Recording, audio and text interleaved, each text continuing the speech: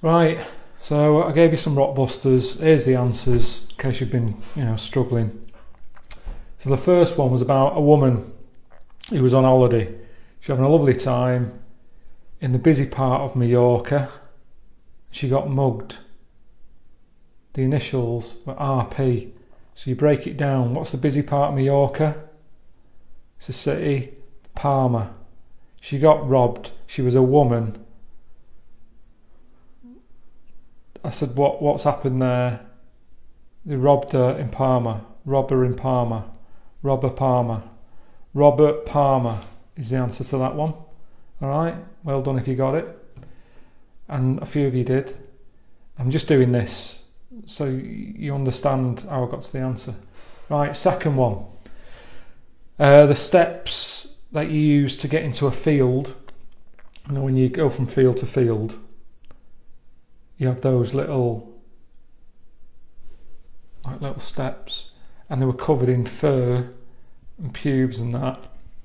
Uh, and I said oh what are them then? What's what's gone on there? The initials were HS they were covered in pubes and fur. What is that? That's hair in it it's hair. The step that you use to get into a field is a style. They were very they're very hairy hairy style right? Hairy styles Harry, Harry Styles. That's what we've got there. And then the last one, um, this was a tricky one. The old cheap supermarket. There's some nutter walking around using a toilet as a hat.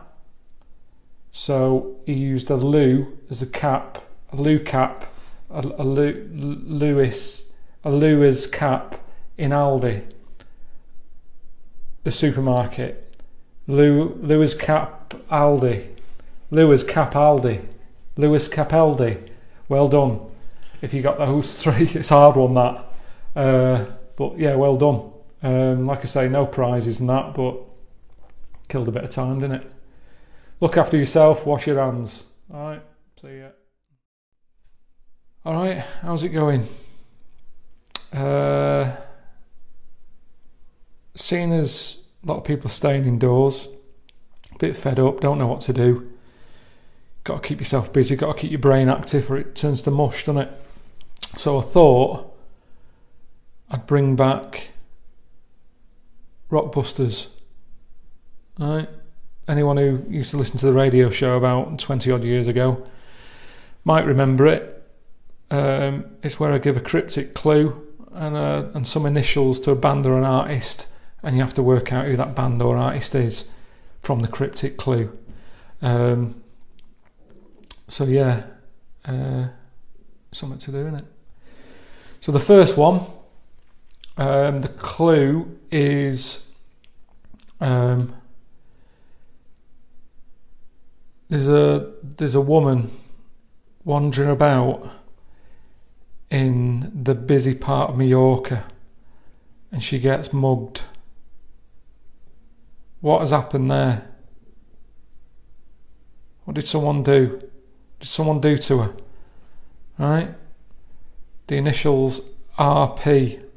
She was on holiday having a lovely time in the busy part, like uh, not, not far from the airport. And um, yeah, she got mugged. What did someone do to her? RP. Right? That's the first one. Second one. Um, do you know those steps that they have in fields to get over into the next field? There were some of them, but they were like covered in fur, pubes, and that. Pretty dangerous to use, quite slippy. Who's the band or artist? HS. HS, those those steps you get in a field to get you into another field, covered in pubes and fur and that. Uh, what's going on there? HS. Easy one that. And uh, the last one, um, there's some lunatic in a reasonably priced supermarket who's wearing a toilet for a hat. right? Bit of a loon, walking about a supermarket, very cheap supermarket, um, wearing a toilet for a hat. What's he doing there? That's LC. LC. Right? Something to do. You might you might not be asked. You, you don't want to play. It doesn't matter. If you've if you know any of the answers, pop them in the uh, in the comments below. See how you get on. Uh, there you go. Rockbusters back for 2020. All right. Good luck with that. There's no prizes or anything. Uh, just something to do. Right. See ya. Just before all this lockdown kicked off, um, yeah, I saw him on. I think it was like the 10th of March or 11th of March or something. And then uh, here we are, five and a half weeks on. I haven't really left the house since, but it was good. Um, he's in his seventies now, and yet he's still uh, he still sounds as good as he did back then. And as smart. He's always he's always been one of them blokes who's been able to um, wear a suit. You know what I mean? And he don't look awkward in it. Oh, which is something I've never been able to do. I just can't. I, I don't know what it is. I don't know what happens to me, but I, do you know, like when you balance something on a cat and it doesn't like it, it know, you know, you just put like a little bit of a shoelace on its head or something, it holds itself odd and it doesn't quite understand what's going on. I'm like that when I wear a suit. I just feel, I just, I just hold myself oddly. But, uh, and it's funny actually because Suzanne's been talking to an old mate of hers who she went to um, uni with. That's what's that's, that's that's what's been going on on it really during this lockdown. People coming out of the woodwork and getting in touch with you and that. I suppose it's a good thing, but I suppose people have more time on their hands to catch up with people when normally they're busy and all that. But the last time Suzanne saw her, I think, was at a wedding, like 17 years ago. And a memory of me at that wedding is um, I was the only bloke wearing combat pants to a wedding. So I've, I've, I've never been able to wear a suit. I'd rather look odd and stand out wearing something comfortable than trying to fit in and not being comfortable. It's pointless. Um, so I thought I'd just uh, play a couple of songs, also give you a couple of rockbusters because it's something to uh, kill a bit of time. I did I did some a couple of weeks ago. You like them? So so here we go. If you remember Rockbusters, I'll give you some um, initials and a cryptic clue. You let me know who the artist is from the clue that I give you. You don't win anything. It's just it's just a bit of fun. So the first one, the initials are AG. That's AG, and the clue is how would you describe Kermit? Right. I mean, you might describe Kermit in loads of different ways. What's what's one of the ways you might describe Kermit to someone? You know, out of the Muppet Show. So the initials AG there, right? Uh, the second one, uh, the initial is M, and uh, of the artist of the band, and the clue is I might phone you, I might not. All right, I might phone you, I might not. All right, and then the last one, initials DL, DL, and the cryptic clue is the the Australian asked the impressionist to do one of those people whose um, you know, who's got that disease, whose arms and legs fall off. Right? Who is it? The band of the artist, the initials DL, and the cryptic clue is uh, the Australian asked the impressionist to do one of those people with the disease whose arms and legs fall off. Right, there's a bit of working out for you to do there. Kill a bit of time, and um, and I thought I'd play this. Um, it's been stuck in my head. I've been whistling it for a few days, driving uh, Suzanne up the wall. It's Judy Teen by Steve Harley. Good one. Wash your hands. And the spiders from Mars. Um, don't know why they've got to be from Mars. I can't imagine spiders from Mars being any more weirder than um, spiders from Earth, to be honest. They're just odd, aren't they? How do you make them weirder? Um, I've been I've, been, I've been going to YouTube a lot during the um, the lockdown, and there's two things I go to if I'm not actually looking for anything, you know, in particular. Um, there's big waves, right? You know, you, you, you get like uh, fishermen or those blokes who are shifting freight out in the North Sea and they do videos of the waves that are outside during bad weather and it's mental. It's like 50 foot waves and they're just, um, it just doesn't bother them at all. You can hear them chatting to each other, arguing over a game of cards. Meanwhile, outside there's waves like, you know, the end of that film, Deep Impact, and it just doesn't bother them. Yet it, it sort of it freaks me. It freaks me well out to know that waves are that big and are bashing about on the same planet that I'm sat on. So there's that um, I like looking at, and spiders, and they sort of terrify me, but at the same time, I like looking at them. And I, I think the thing that freaks me out is the legs, because sometimes a spider can be quite big, you know, the body. But I can I can pick things up like beetles and stuff like that that have the same size body but it's them legs. Just big, it's the big legs that, which is weird because, you know, one of the things that can make a woman sort of attractive is long legs, and it doesn't don't freak you out. Um, I knew maybe it would if a woman had eight legs. I don't know. Maybe it maybe it wouldn't be. I don't know.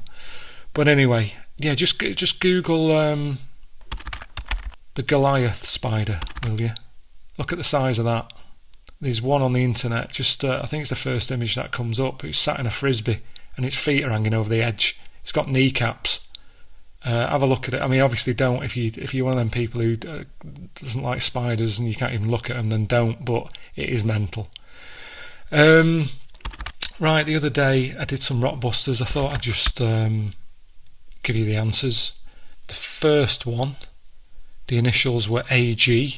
The clue was how would you uh, what did I say? I said I said uh, what's one of the ways you describe Kermit, right? How does Kermit look? He's he's green, isn't he? He's all green. Kermit's all green, all green, Al Green, Al Green is the answer. Um, like I say, it's a little bit cryptic. You have to you have to think about it. Um, so well done if you got that one. Second one, the initial was M. The clue was I might phone you, I might not. So what's going on there? What's another word for for calling someone? Bell you, right? You might bell someone. I might bell you later. So if you might phone them, you might not. You may, you may bell them. Mabel, Maybell, Mabel. That's Mabel, um, who's out at the minute. It's Neneh Cherry's kid, that, isn't it? That's when you know you're getting old, isn't it? When pop stars you listened to as a kid have had kids and they're, they're now pop stars. Madness. So, yeah, Mabel for the second one. And then the last one was DL. Uh, the clue was the Australian asked the impressionist to do one of those people whose um, arms and legs fall off. So what are they called? They're called uh, lepers, aren't they? Lepers. If you're Australian, you'd probably say lipper. So the impressionist had asked the person to do uh, do one of them people. So they're asking them to to do a lipper, do a lipper, do a lipper. A few of you got that, no problems. Uh, so well done. Something to do, wasn't it? And um, might do some more, especially if this lockdown carries on. So, uh, well done. Time for another tune. Thought I'd play this. It's quite apt for what's going on. Bit of John Lennon, song called Isolation. people are dying all the time, and you know there's only so many places you can die. So I suppose it's going to happen now and again, isn't it? Anyway, how's it going? Uh, lockdowns still sort of on, isn't it? When you can nip out, a bit of a wonder, but it's not normal yet, is it? So that's why I thought I'd still play you a couple of tunes, and have a quick chat. Not doing Rockbusters today. Um, having a break from that. But uh, I've been getting a lot of messages on Facebook. Suddenly got like a load of messages coming in at the same time about one topic. And when that happens, you sort of go, "This, this, this is it." Like Richard Branson, that's what he says. He said he gets loads of posts, loads of phone calls, and he hasn't got time to go through them all. So he waits until the message gets to him or something. It's like if it's important, you'll eventually find out. Anyway, I can't I can't look at every message you get on Facebook, but suddenly there was the same message from loads of different people. So I thought, right, this this must be important. What is it? And I clicked on it, and it was a bit of monkey news. Um, I don't know if you've seen it. I'll play it here so you can see it. It's this. This little monkey comes round the corner on a motorbike. He grabs the kid, runs off. And everybody was like going, This is terrible. What is going on? There's a monkey kidnapping a kid. But I don't know if I can turn the audio up so you can hear it. But if you hear it when it first comes round the corner, to me that sounds like a siren.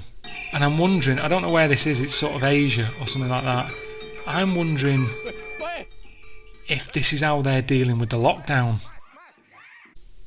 Like I say, if you play it back from the beginning, right, you're hearing a siren there. That bike's got some sort of siren on it, like, and that bike is a proper little motorbike, that a monkey-sized motorbike. So I'm wondering whether in Asia to deal with the amount of people ignoring lockdown, they've got monkeys doing the doing the rounds and making sure people stay in. And I think that's what's gone on here. Is come tearing round that corner there, down this alleyway, and he's found this family who should be at home, should be behind doors, and they're not. They're fanning about in an alleyway. And the way he's, ang- I mean, the, the way he comes tearing down, it's like he's caught these before. He's annoyed with them. He's livid. I mean, he's, he's probably gone for the kid because he knows that if he takes the kid, the adults will follow. Um, the way he just like gets off his bike again, like how many times have I told you?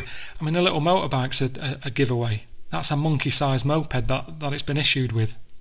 Little monkey law enforcers. I suppose it's good because you're not going to argue with it because it can't speak English or, wherever this is. So it's just going to go in and try and do the job, shift the people. And I think that's what's uh, I think that's, that's what's gone on here. Um, but you see, I see things like that and I think, hang on, is that starting to creep in here as well? Because all this talk about loads of PPE kit it's like they, they've got loads of it now. There's like a mask, a face mask, a thing they wear on their head, a thing all over the body, and it makes you wonder if uh, in our hospitals we've got little, you know, little monkeys walking about the wards helping out, and you've no idea because they've got that much PPE on. You, you can't see the little chimp sat under there. Do you know what I mean? But I mean, helps help, and uh, I suppose uh, you know when times are bad, everyone's got to. Um, Everyone's got a chimp in, you could say. Anyway, Monkey News. There you go. I've always been a fan of a a song with a good story, and that's that's up there for me. Um, if you don't know it, it's a story about a bloke who um, he must be married with his girlfriend or whatever. Goes off to war, comes back, and his uh, his legs are all done in the relationship goes a bit downhill. She starts leaving him at home. She's going out getting rat assed every night. He's fed up and he wants to. Um, I think by the end of it, he wants to do her in. He's had enough. Um, just a good example, really, of uh, of how things can change. At some point, their relationship was all rosy, and then it's uh, it all changes. I mean, we're all being tested at the minute, aren't we, really? With this uh, virus thing going around. Stuck at home with your partner. Um, I've been alright. We've had the odd day. Me and Suzanne had an argument the other day about who had the biggest head. I don't want to go into full details, but uh, of who had the bigger head. But it got to the point of getting out a tape measure and measuring the circumference, and um, it just all happened because I ordered a cap that stated that one size fits all, and it it, it fucking doesn't. I just wish to sort that out because now I've got to fanny about and send it back. One size fits all. Annoys me. But then again, I suppose that's what life's about, innit? Getting annoyed, being happy, being worried. Well, that's a lot in it. Being scared. Um, that's living. I do like a good moan. And I do like a worry in a way, for a little bit. It's a bit of a pastime, keeps your brain active. I always remember um, a few years back, I used to think about death a lot. You know, we all sort of come into the world in the same way, don't we? But the way you go out, you don't know. You don't know what your um, exit strategy is uh, is going to be, and I'd uh, I'd let that worry me. What's going to happen? Is it just going to be in my sleep, or is it going to be something horrible? Um, it mainly happened when I could hear a clock ticking. It was a little reminder that time was just, you know, ticking away, and that's my life. And uh, yeah, it used to bother me. And then I read a story that made me change my mind, and it was about a bloke, and he um, he died in his bed when a cow fell through the roof, through the ceiling, landed on him, and, and you know squashed him dead. And um, for a bit, I was like, "Oh God, that's really bad. That's that's probably going to be me. That have something horrible like that." And but the more I thought about it, the more I thought it's not. It's not actually that bad. It's not like um, you know an illness that drags on and on, and you're getting weaker and you're just miserable and you're sat there just you know waking up every day thinking, "Oh, I'm still here. How long is this going to go on?" It just happened quick, and. Uh, and even even to the point of even if he heard that cow coming through the ceiling, I don't think he would have had any any worry because I bet I bet his brain was telling him he was still asleep and it was a dream. Because why would a cow be coming through the ceiling? So it sort of made me realise that it's the people who are left behind who um, is more upsetting for, isn't it? I mean, it's the wife in it who has to deal with the with the upset of losing her husband, and um, and on top of that, she's got like a, hole in her roof that she's got to sort out. She's got to get a tile around. She's got to have the, the sort of loft rebuilt, get a get a plasterer in to sort out the ceiling. There's a lot of hassle there, and even before all that, getting a cow out of the bedroom because that would have been wandering around, wouldn't it? And that's that's not an easy task, shifting one of them, especially if it was upstairs. If it was upstairs in the bedroom, they don't go downstairs, do they? Um, cows. There's something about the legs. I think they can go upstairs, but they can't walk down. So all that hassle, he's he's no idea. He's gone by this point. She's got all this shit to deal with, and that's. Um, it was after reading that story that I realised that you know it's pointless worrying about when and where you're going to die because you, you'll never know. But all I did was I moved the worry. I've talked before about the worry hole, and you've got a, a space in your head that you've got to fill with worry. So I went from worrying about how I was going to die and where I was going to die um, to just worrying that Suzanne will die before me, which I wouldn't want. Because at the end of the day, death is, is more of a ball ache for the people who are left behind, which uh, will definitely be the case for Suzanne because she's got to try and find a coffin that will fit my big fat head in it. So that'll serve her right for taking the piss. A little bit of karma. Right, um, I wanted to talk about UFOs today, and I haven't. I've sort of ping ponged around a bit there. Maybe do it next time. This is a little bit linked to how I started thinking about it. I saw it on some BBC documentary the other night, and it's Curtis Mayfield, and they were saying how uh, he was doing a gig in America, and the, the lighting rig fell on him, and um, he, he was paralysed from the neck down. So there you go. You see, you never know. Good song, this though. Superfly. See you later. DJ Shadow. With uh, this time, I'm going to try things my way.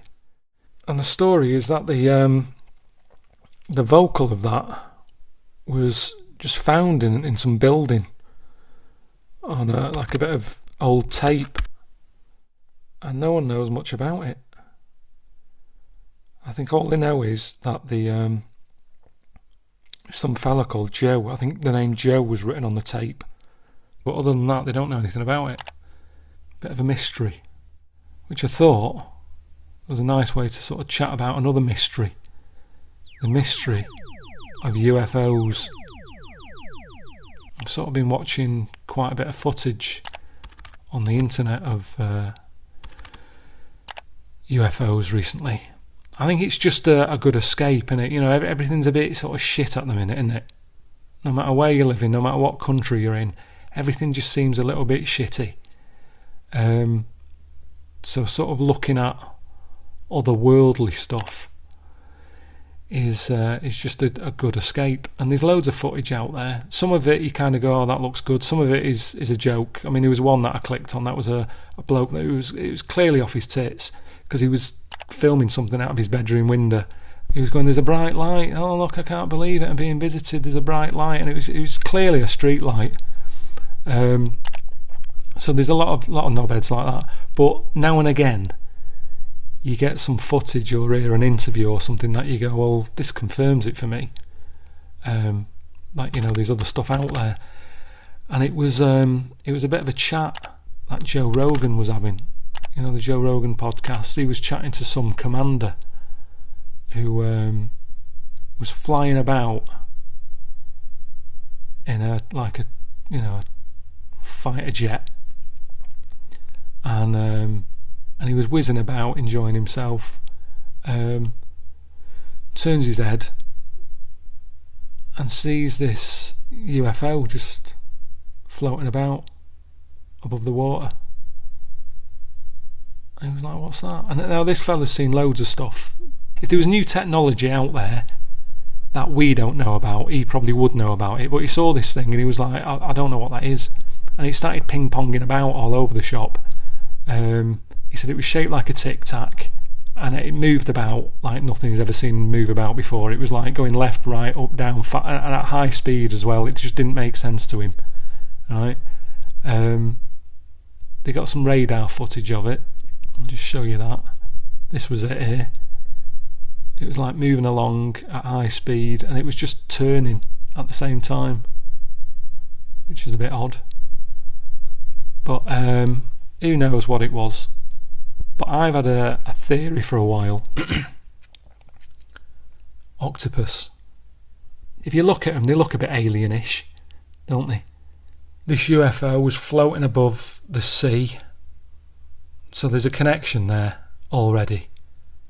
Um, all the arms, which you know would probably come in handy if you if you're flying about something that that commander saw. I imagine that's got a lot of joysticks, a lot of buttons to press, you need a lot of arms. So there's that. And I saw this video ages ago. Yeah, I'll show you this mimic octopus. Right. Now the skill that it's got is like um, let me just show you this. Right.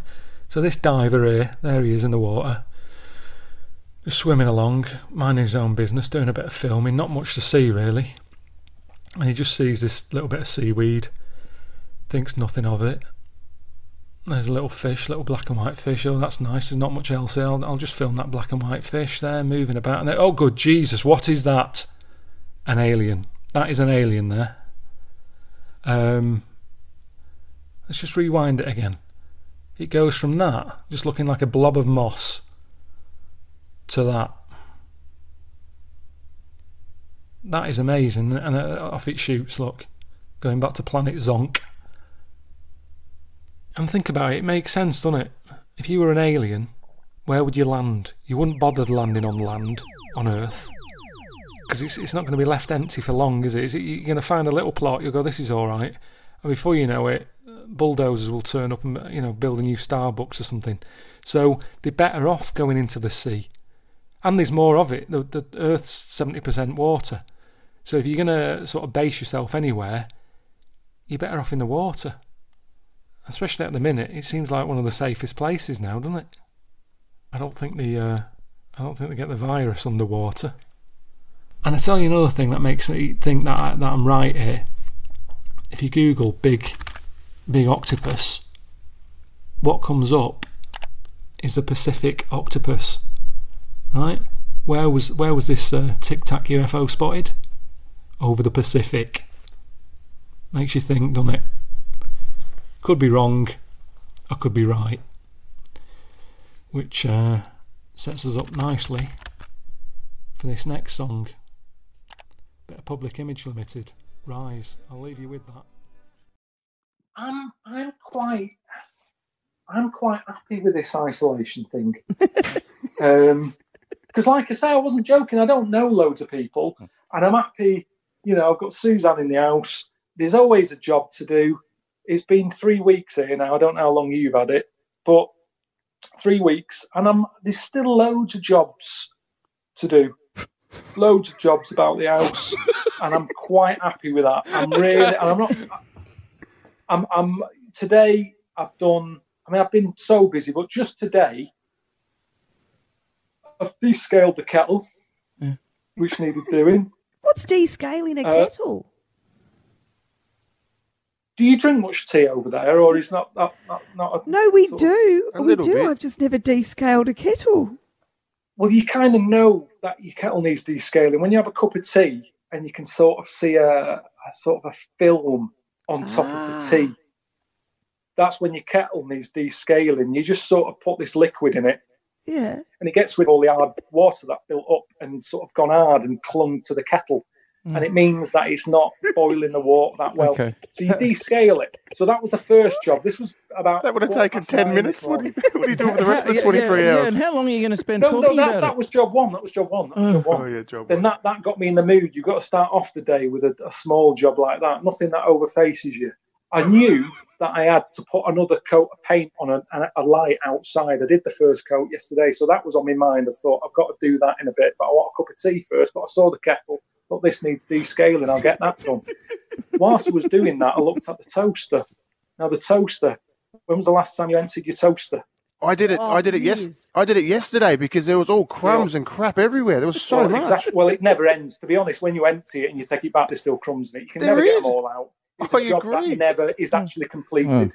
So I, I, It's a I did never-ending that. I took that toaster. Out into the garden. I emptied it. Loads of birds are getting some crumbs, some burnt toast, and what have you. So they're happy. I took it back in. Right. So I got that done. Okay. I then did my painting job that I told you about. Then I wanted to. I noticed on the bathroom door the handle kept it in a tile when I opened it, so I thought I can sort that out. I can glue a little bit of rubber to the wall so it's not hitting the. Hmm. You know what I mean? So the handle doesn't hit the tile and could end up cracking the tile. Faith, are you regretting asking this question yet? No, I'm not. I'm into it. I'm I love this. loving keep going, keep going. I cleaned the sink in the garage. There's a there's a sink and it had a build up of hard water on that. I got some stuff on that to hmm. do. What else have I got to do? Oh, I, I, I got my steamer out and steamed the, the shower cubicle because there was some sort of mold build up. So all I'm saying is there's loads and loads of things that you never get round to doing, and they're not they're not massive jobs, but you've always got something else to do. But when you're stuck in the house, uh, that's what I'm enjoying, getting the house in order. Oh, just Can. I ask you this quickly? Oh, sorry, I go, know Faith, you're going to go, let go, him go, Faith. but just re- I'm dying to ask you this, Karl. I'm going to guess you're not a phone person. Like you're not someone who welcomes phone calls or drop-ins. And are you good at texting people back? If there's a question mark on the text, I'll answer it. if it's just a if I, I'm not, I'm not, I'm not into sort of just chatting because I, I would prefer a phone call. And if it's something important, I think you've got to talk to someone. If it's just you can't have sort of nothing you chat on text. I don't think that's a do you want to chat in it, and then then you make the call. Right. But I don't, I don't do that many phone calls. I speak to my mum and dad every other day. That's They're good. all right. Um, but not much is going on at the minute. I mean, they were telling me that they've ordered some meat from the butchers and they're bringing it round, and but no one's doing anything apart from me. These gaming kettles emptying toasters. Promoting. But my mum and dad got sick of hearing that two weeks ago. Right.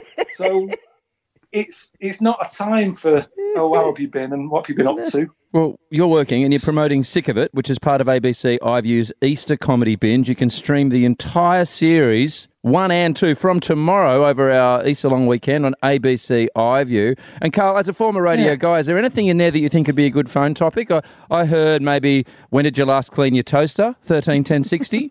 I mean, can you think of a good question that might come from the chat we've had if we wanted to do a, a little phone topic? Well, I've I've been doing a little bit of um, quizzing just to keep my brain active. Mhm.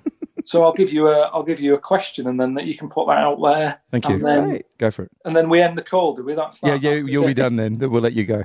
Right. So the oldest, the, the timepiece with the less parts, you know, like a, a watch or whatever. Yeah, Mm. a timepiece. Yeah. A timepiece with the least amount of parts is a sundial. All right. hmm Do you know what a sundial is? Yes. Yeah. It's the thing you have in the garden. Okay. it's the thank you. oldest thing in it It of telling the casts time. shadows to Yeah. tell the Yeah. time. Correct. So So, that's that's the least the least pieces of a timepiece. Long It- question. It's just got that one metal rod. Yeah. Yep. Yep. Yeah. What's the one with the most pieces? So this is a, clock. this is a quiz, but this doesn't this go out to the audience, or do we just answer it now? Uh, I reckon it's good for the uh, for the audience. I think they've got But then you're not here to answer it. So, okay. Is there an answer? What's the answer? well, th- well, yeah, but I'll give you the. I don't want to give you the answer now. yeah. well, let, let's, we'll play a song. Do you want us to call you back? We'll play a song. Someone can tell us the. You, You, you, can you tell text me with this because it's got a question mark. Okay. okay. All right, so we'll see how we go with that. Thirteen ten sixty. Karl has said, "Oh God, it was the longest question ever. Something to do with a timepiece with the most amount of what? Working parts. But Working the, parts. the most parts of, of sort of parts. Okay. Yeah. So If you- the sundial has, has Big the Ben. least Yep. amount of parts. Okay.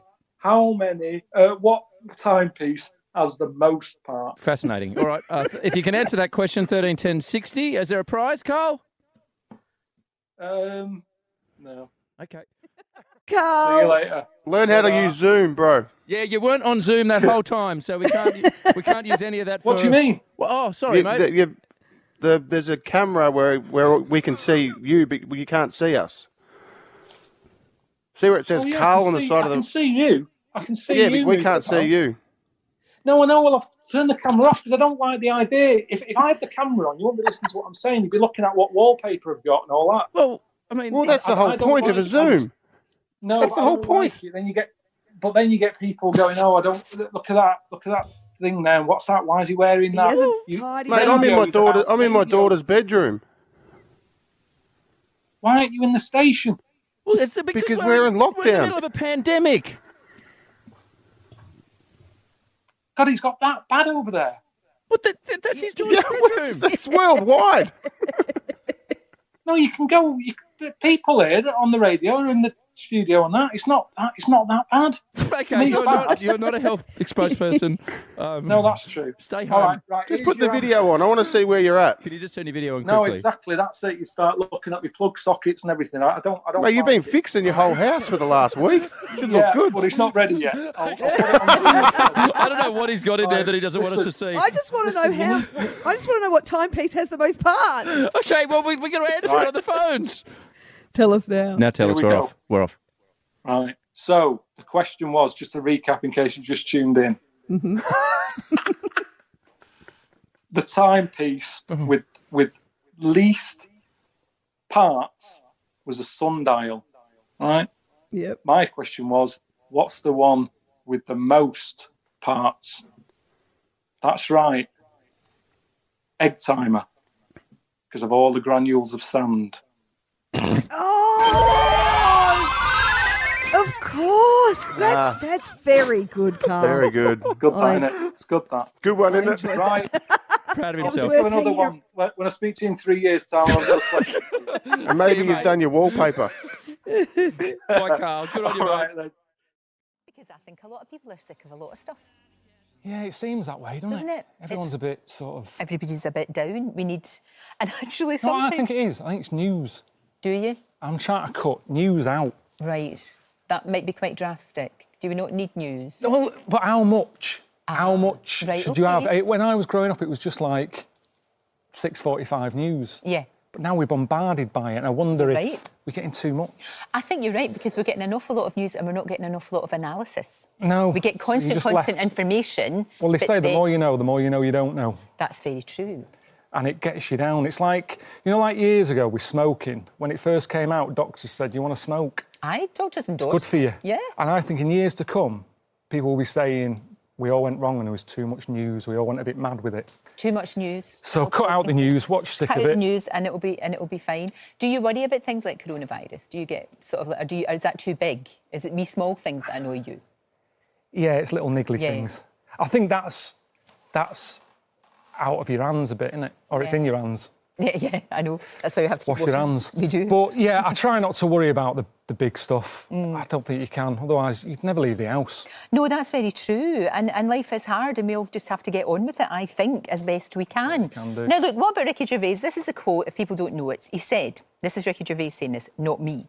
Received wisdom says there's a fine line between a genius and an idiot. Not true. Carol's an idiot, plain and simple. Very simple. Some people have proclaimed him a genius, but they're idiots. Now, Ricky and you. Would you get back together again, like a like a sort of boy band? You know the the way that they do. Yeah, but is that a good idea? Is a boy band getting back together a good idea Well, ever? take that was a good idea, don't you think? Take Right. that, maybe. No, no. Okay, we're going to fight. I just think you've got to like leave things. Right. They were good. they had their time, People liked them at the time. You bring them back. It's never as good. right? I think people like the idea of going back to something they liked when they were younger. Sure. I mean, we, we stopped doing the podcasts about. Well, Idiot Abroad was 10 years ago. Was it really? 10 years ago. and people are still going on about it. I know, but that's because people loved it.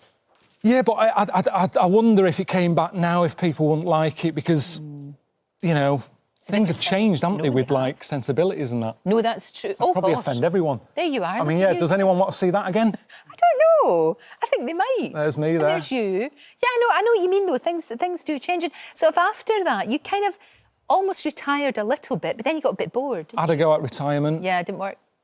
I think I did five. In fact, last time I was on here, I said Yeah. to you, I've had enough. I know, I remember. Knocking on the head.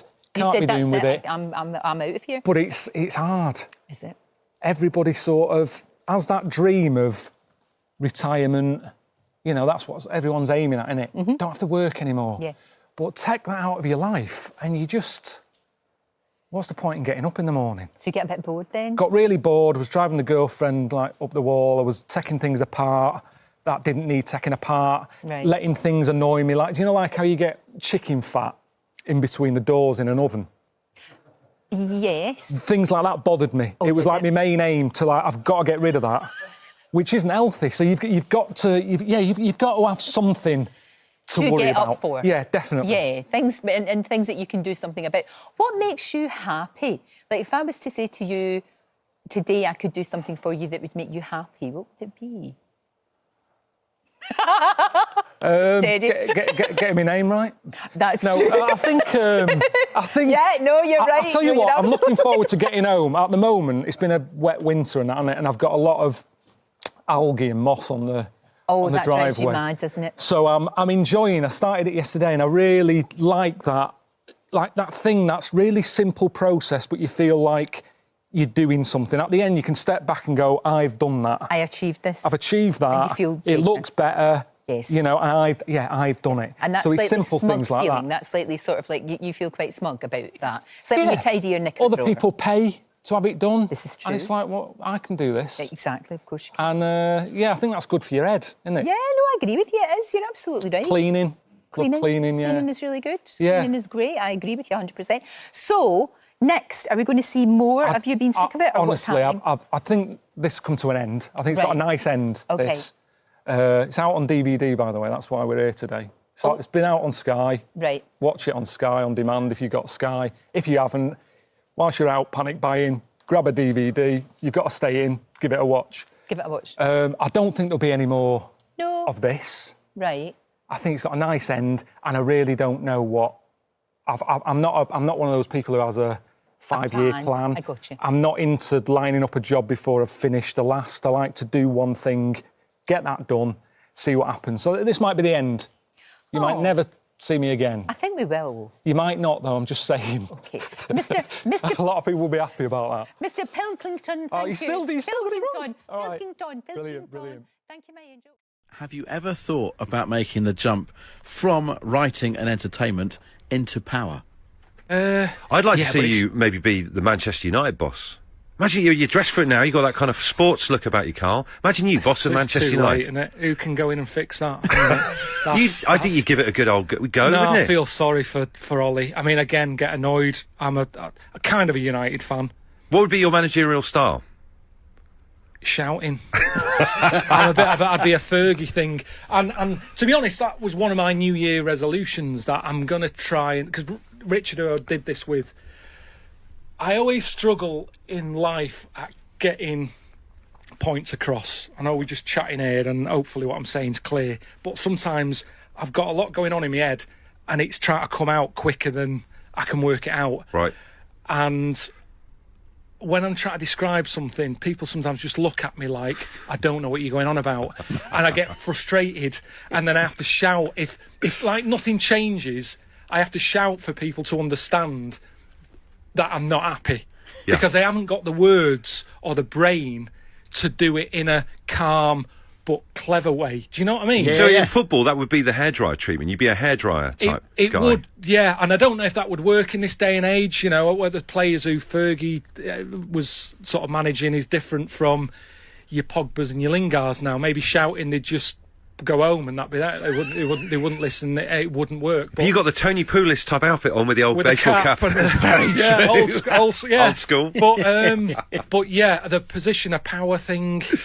The other thing with me is I can have a proper rant. I do it all the time with me with my girlfriend. I'm like, I have a proper moan, and she's brainier than me, and she'll go, "Well, you're wrong there because X, Y, and Z," and I'll go, "Oh yeah." And that'll be that. Right, So, so I can I can feel like you know, let's fight them on the beaches. Yes. And then someone will sort of go, you know, we can't. The tide's in. Yeah. and I'll go, all right, yeah. People who have never heard of me before, I did radio, and How did you people who- catch that break into radio then? it's a weird one because it came at quite a a, a time when I thought my life was going to change for the worse in a way. Um, like I say, I listened to the radio as a kid and thought, yeah, I want to do that, and I did a bit of DJing. You know, I got decks and that, and then um, my dad had to have a art operation, and like uh, this was about eighty seven. Yeah. 88.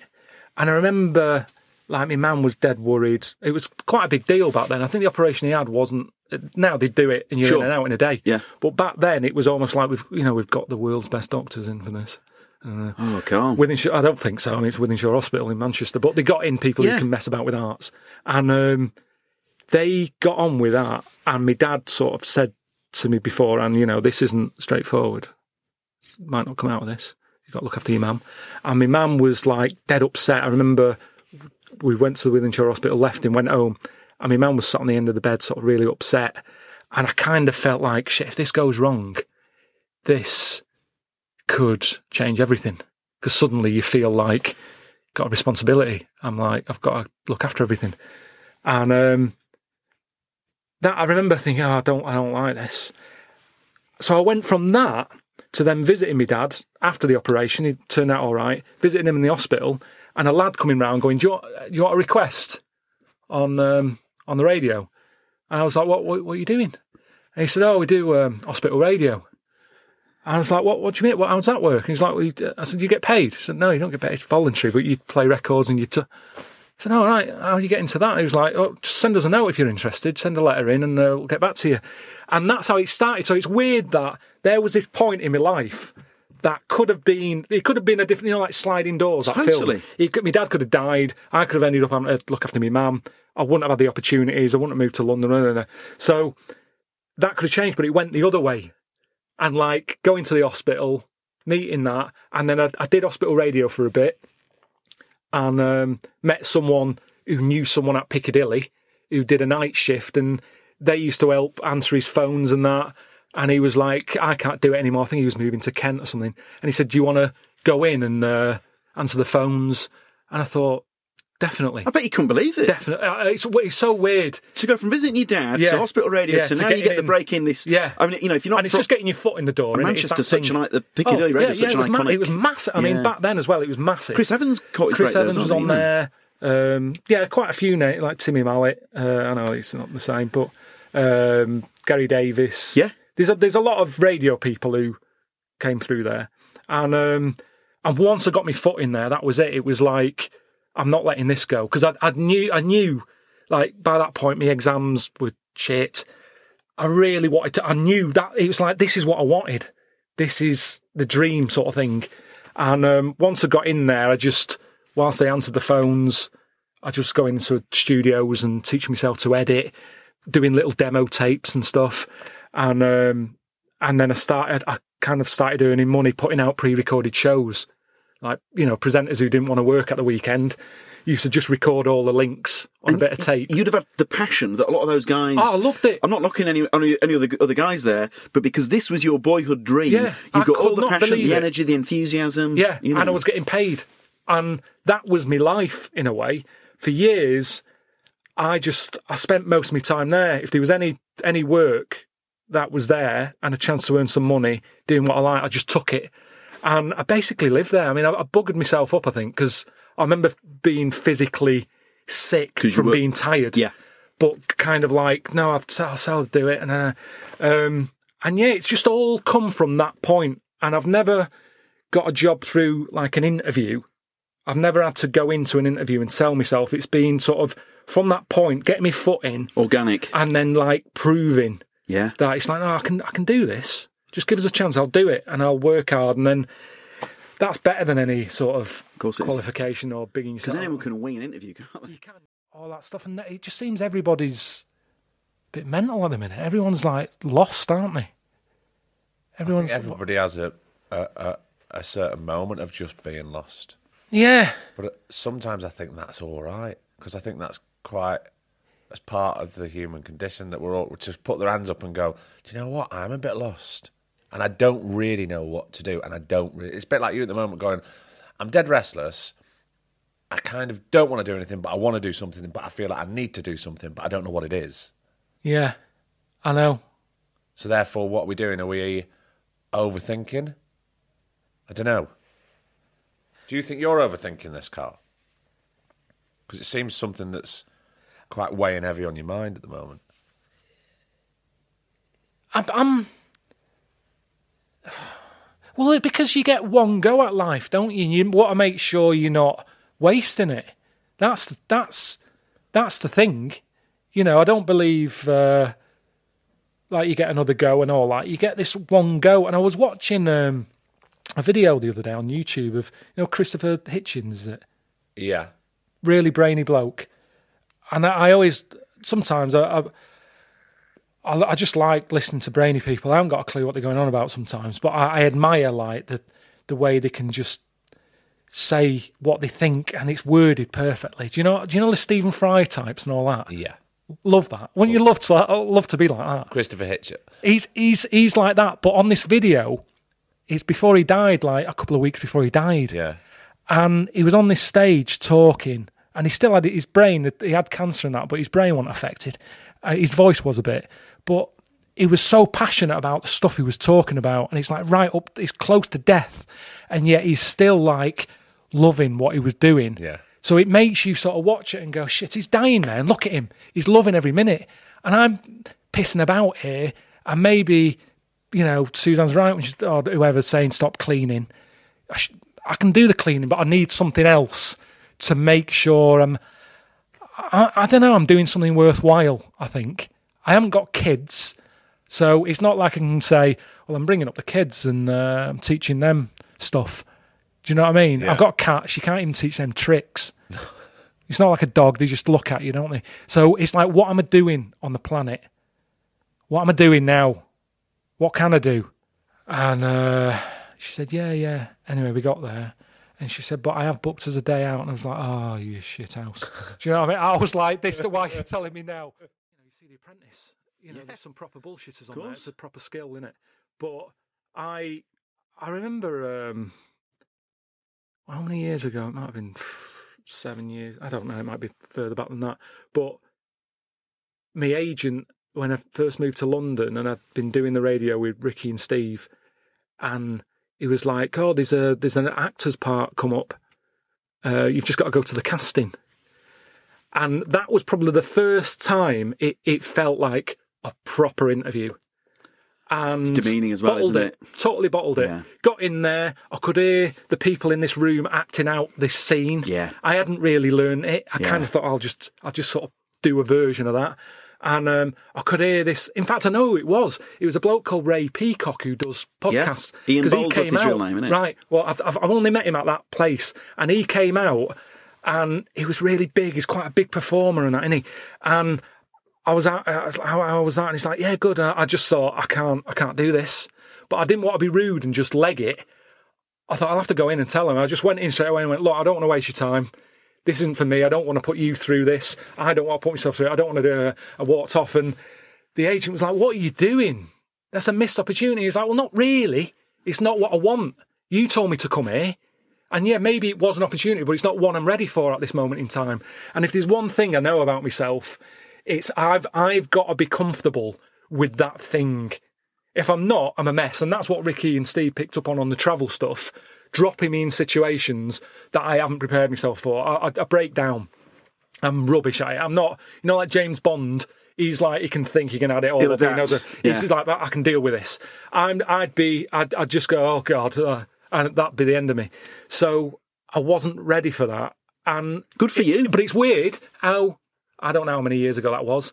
That's what I've ended up doing But in on my your own terms, time. though. Yeah, yeah, yeah. in my own time. So um, when people say that line about oh, if something comes along, grasp it. Take, take every opportunity that comes along. Sometimes no, don't don't do that. Think about it, but don't don't like spur of the moment. This could be it. Well, yeah, but is it what you want? And is this the there's other paths to where you want to get? It's like sat nav, innit? Always sends you the route everybody else has been sent on, Yeah. which right. means that it's not the quickest route, No. it's not the best route. Go a different route. And you'll get there. You'll still get there. You might get lost on the way and find something else. But it's that thing of, you know, there isn't uh, it's like when people say, "What advice do you give?" It's like I don't, I don't want to give you advice because it might not work for you. You've got to work out what's right. So true. Yeah.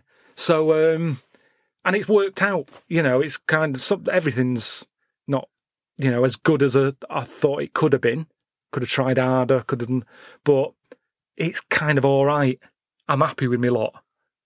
So, um, pretty, uh, pretty heavy, that isn't it? No, no, I mean, I, I, that was that was one of those I don't for know me. where That that came from. that was good. I could, it's like a That was. Mandela. thing, wasn't it? I didn't know I had that in me. But I mean, it's it's amazing because then you you got moved to London. Yeah, So what was that your choice or was that the, through that was my only choice, to be honest. Um, I used to Was it be. either was it move to London or get made redundant? Well, I was made redundant. Well, sacked. that, that, that, I got told that. You, Yeah. I, I lived in Leeds. Was Yeah, a sports yeah. writer. You, you you either get you're gonna make we're gonna make redundant or you Well, move to London. Well, it was a bit And then I moved different from London. that. It was so. So And you then got mean made redundant. you mean you, you mean they sent you to London? It's Yeah. like there's a job there. Well, I I had a job at Piccadilly. I had a job on air doing my own show through the night. Got sacked off that for talking too much because the station had changed a bit. Yeah. And um, Steve Penk, who used to do the breakfast show, he I used to produce his breakfast show after after I did a night shift from two till So six. you hosted your own show two did till my own six. show two till six, and then after that I had to produce the breakfast What show do you mean you, six got, you ten. talk too much? Yeah, What do they want? More music? yeah. The strap line was like Key 103, the most music, and I was playing about three songs an hour. And I kind of thought because it's through the night, Do those recordings still exist? I doubt it. Well, they, I doubt it because that was one of my jobs to put in. It was videotapes, and you had like three video recorders recording all the output Yeah, of the station. yeah. And it was your job to sort of change those tapes, and there was times I forgot. Sure. So I, I suppose technology. I, I don't know. Yeah. They haven't cropped up yet, and that must have been what early nineties. So um, yeah, I'd just waffle on, and Oh, and then sorry, Steve Penk, you were saying. Steve Penk. So I'd, I'd pre- so I'd do my four hours, and then I'd, I'd answer calls for Steve Penk and make promos for his show, uh, make him tea, uh, set up callers. You know, it's just it's just all that sort of producing thing. People always go, oh, you know, people say Karl's daft and that, but he was a radio producer. You know, as if like you have to be bright. To, I know this to radio producers out there, but it's not hard. It really isn't. Unless you're on like maybe Five Live or Radio Four, where you you maybe listening to interviews and you're going, "Oh, that's liable" or whatever.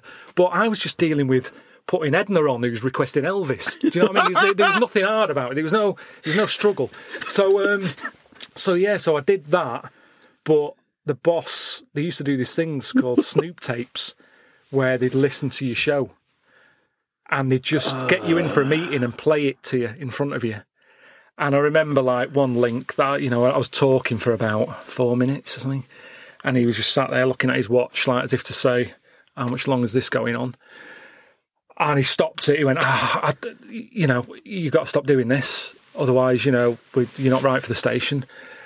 I was like, "All right, right, right." I walked off, and then uh, I kind of carried on because I thought, well, I don't just want to do that sort of. Uh, China Sure. crisis there, and they're coming up, Boyz II Men, stay there. There's twenty to four in the morning, and I used to sort of think the people listening to it are security men, nurses, cab drivers. They all want. Some, you know, the callers used to enjoy the stories or the competition. They want the Quite a lot of communication, competitions, yeah. And and I used to say that, and they were like, "It's not our strap line." It's like, yeah, but the, I was here before the strap line. Yeah. and, and I used to listen to this station before that strap line.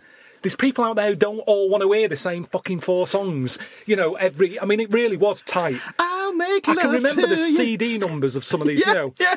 um, because it was just like the same shit. And I, even that, I'd changed the music a little. I didn't go mad, but I didn't always play the same, the, the right songs. But um, so I carried on, and in the end, they got me in, and uh, and sacked me from doing the show.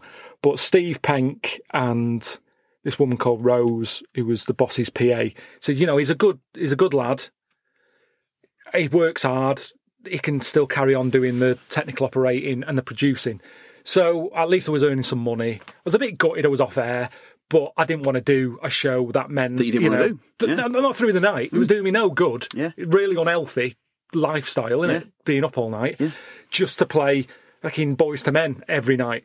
So I thought that, that's the end of that. I, I always wanted to do it. It was the dream. Again, a bit like what I said earlier. Sometimes the dream isn't as good as the dream.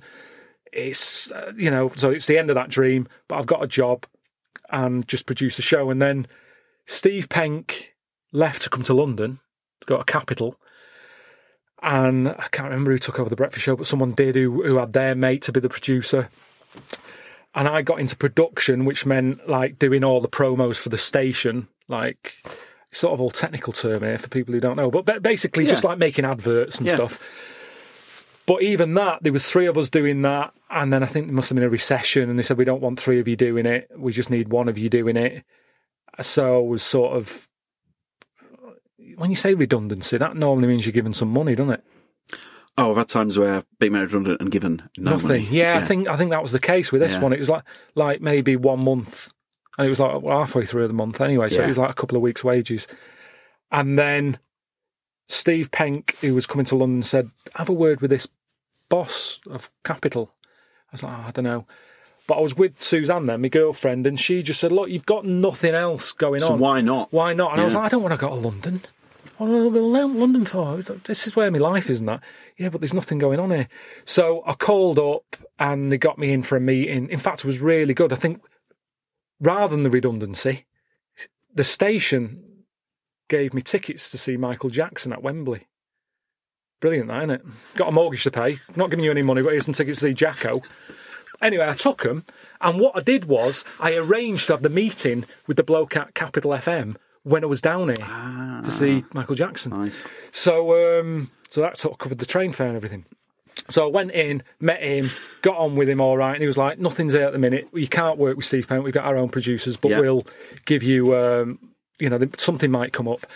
And and that's where it all sort of started. They gave me a job at. Um, they were meant to be buying Virgin Radio, but it fell through, and they'd sent me to a station in Kent, Invicta, to do training because all the equipment was different. I was used to using reel to reel on tape, but by this point in London, it was all digital editing. So we were a bit behind in Manchester. I didn't even use email. I remember coming down here, and it was like set up your email account. I'm like, what, what are you talking about? It was like I'd gone into the future. Like I'd been in a coma and gone, what, like a caveman who had just been dropped into this world. Set up an email and going, I don't know what you mean. And I remember sending my first email and then the boss coming down going, why are you shouting? What's up shouting? I thought, oh, oh, everything's in capitals. And going, well, yeah. So what? That's how I write. Because when I write Yeah. in print, everything's capital. So why keep having to press this button for certain words to have a big letter? So I was like, just caps lock it, sending everything. It's like he's mad him. That northern bloke, he's shouting at everyone. Anyway, so so that's where it all started. I was sent there to do my training, and um, on the hope that I was living in London or rented a flat in London because I said to the boss, I have not left Manchester to work at a tin pot. No disrespect to the station there, but it was a bit crap. It's gone now. Station in Kent. I haven't left Manchester to work there. I've come. I've come to work in London. Sure. So he was like, yeah, yeah, yeah, yeah. Anyway, that station fell through. Buying Virgin Yeah. fell through. I think that's when Chris Evans bought it or something. Ah, right. Yeah, yeah, yeah. But the boss was like, don't worry. We're going to be buying this station that we think suited for you, which was XFM. Yep. So it kind of all worked out. It was a battle, and I was driving to Kent and back every day. I had to get up at like five in the morning to get over to. It was near Whitstable, and I lived on the Docklands, so I was near the Blackwall Tunnel and stuff. But I was really, I was just working like a nutter. Girlfriend was with me. She didn't have a job yet. I had a flat in Salford on a mortgage that I was struggling to pay for, as well as the rent. And I think I'd saved up money. I'd always been A good saver. a good saver. Yeah. I always wanted to make money, and I didn't really know what it was for, but I always saw it as a security. It's like my dad always struggled but paid the bills, and it was like that was in my head. It's like you've got to pay your way, you've got to pay your way. So I was always like, oh, money, money, money, making money from a young age as well, like just always coming up with ideas, making money. So um, I'd literally spent all my savings on this flat in Salford and the renting a flat in London.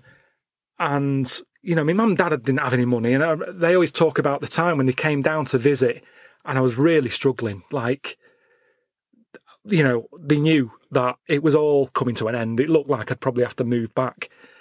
And then I got a phone call from um, uh, a, fl- a, a, an agent, like an a, a state agent Yeah. in Manchester saying, we can let you flat out.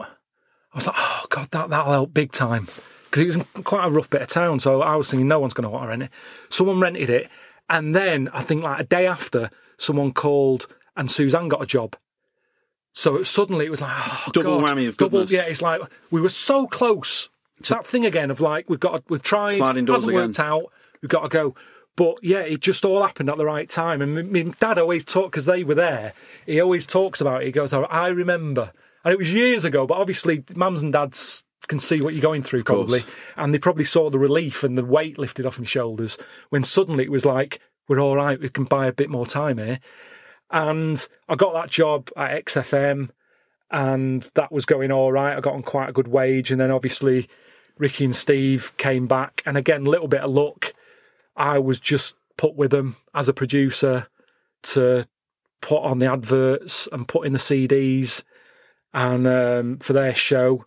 And then I used to talk to them, and they'd be like, "Just you know, do that bit, do that, do that thing you just told us on air." And that straight, I was like, "No chance," because I'm having flashbacks of being bollocked at that station in Manchester and being fired. And now, like you know, rent's not cheap in London. I was like, "I'm not, I'm not doing it." And they, they were like, "No, go on, you're with us. It's all right, don't worry." So slowly, it was like each week they they they'd sort of get me on the show a little bit more, a little bit at a time, just like the odd link and what have you. And then before I knew it, it was like I was kind of part of that show, and it's uh, it, everything since. It's all gone from that, really. Um, so yeah, it's a weird.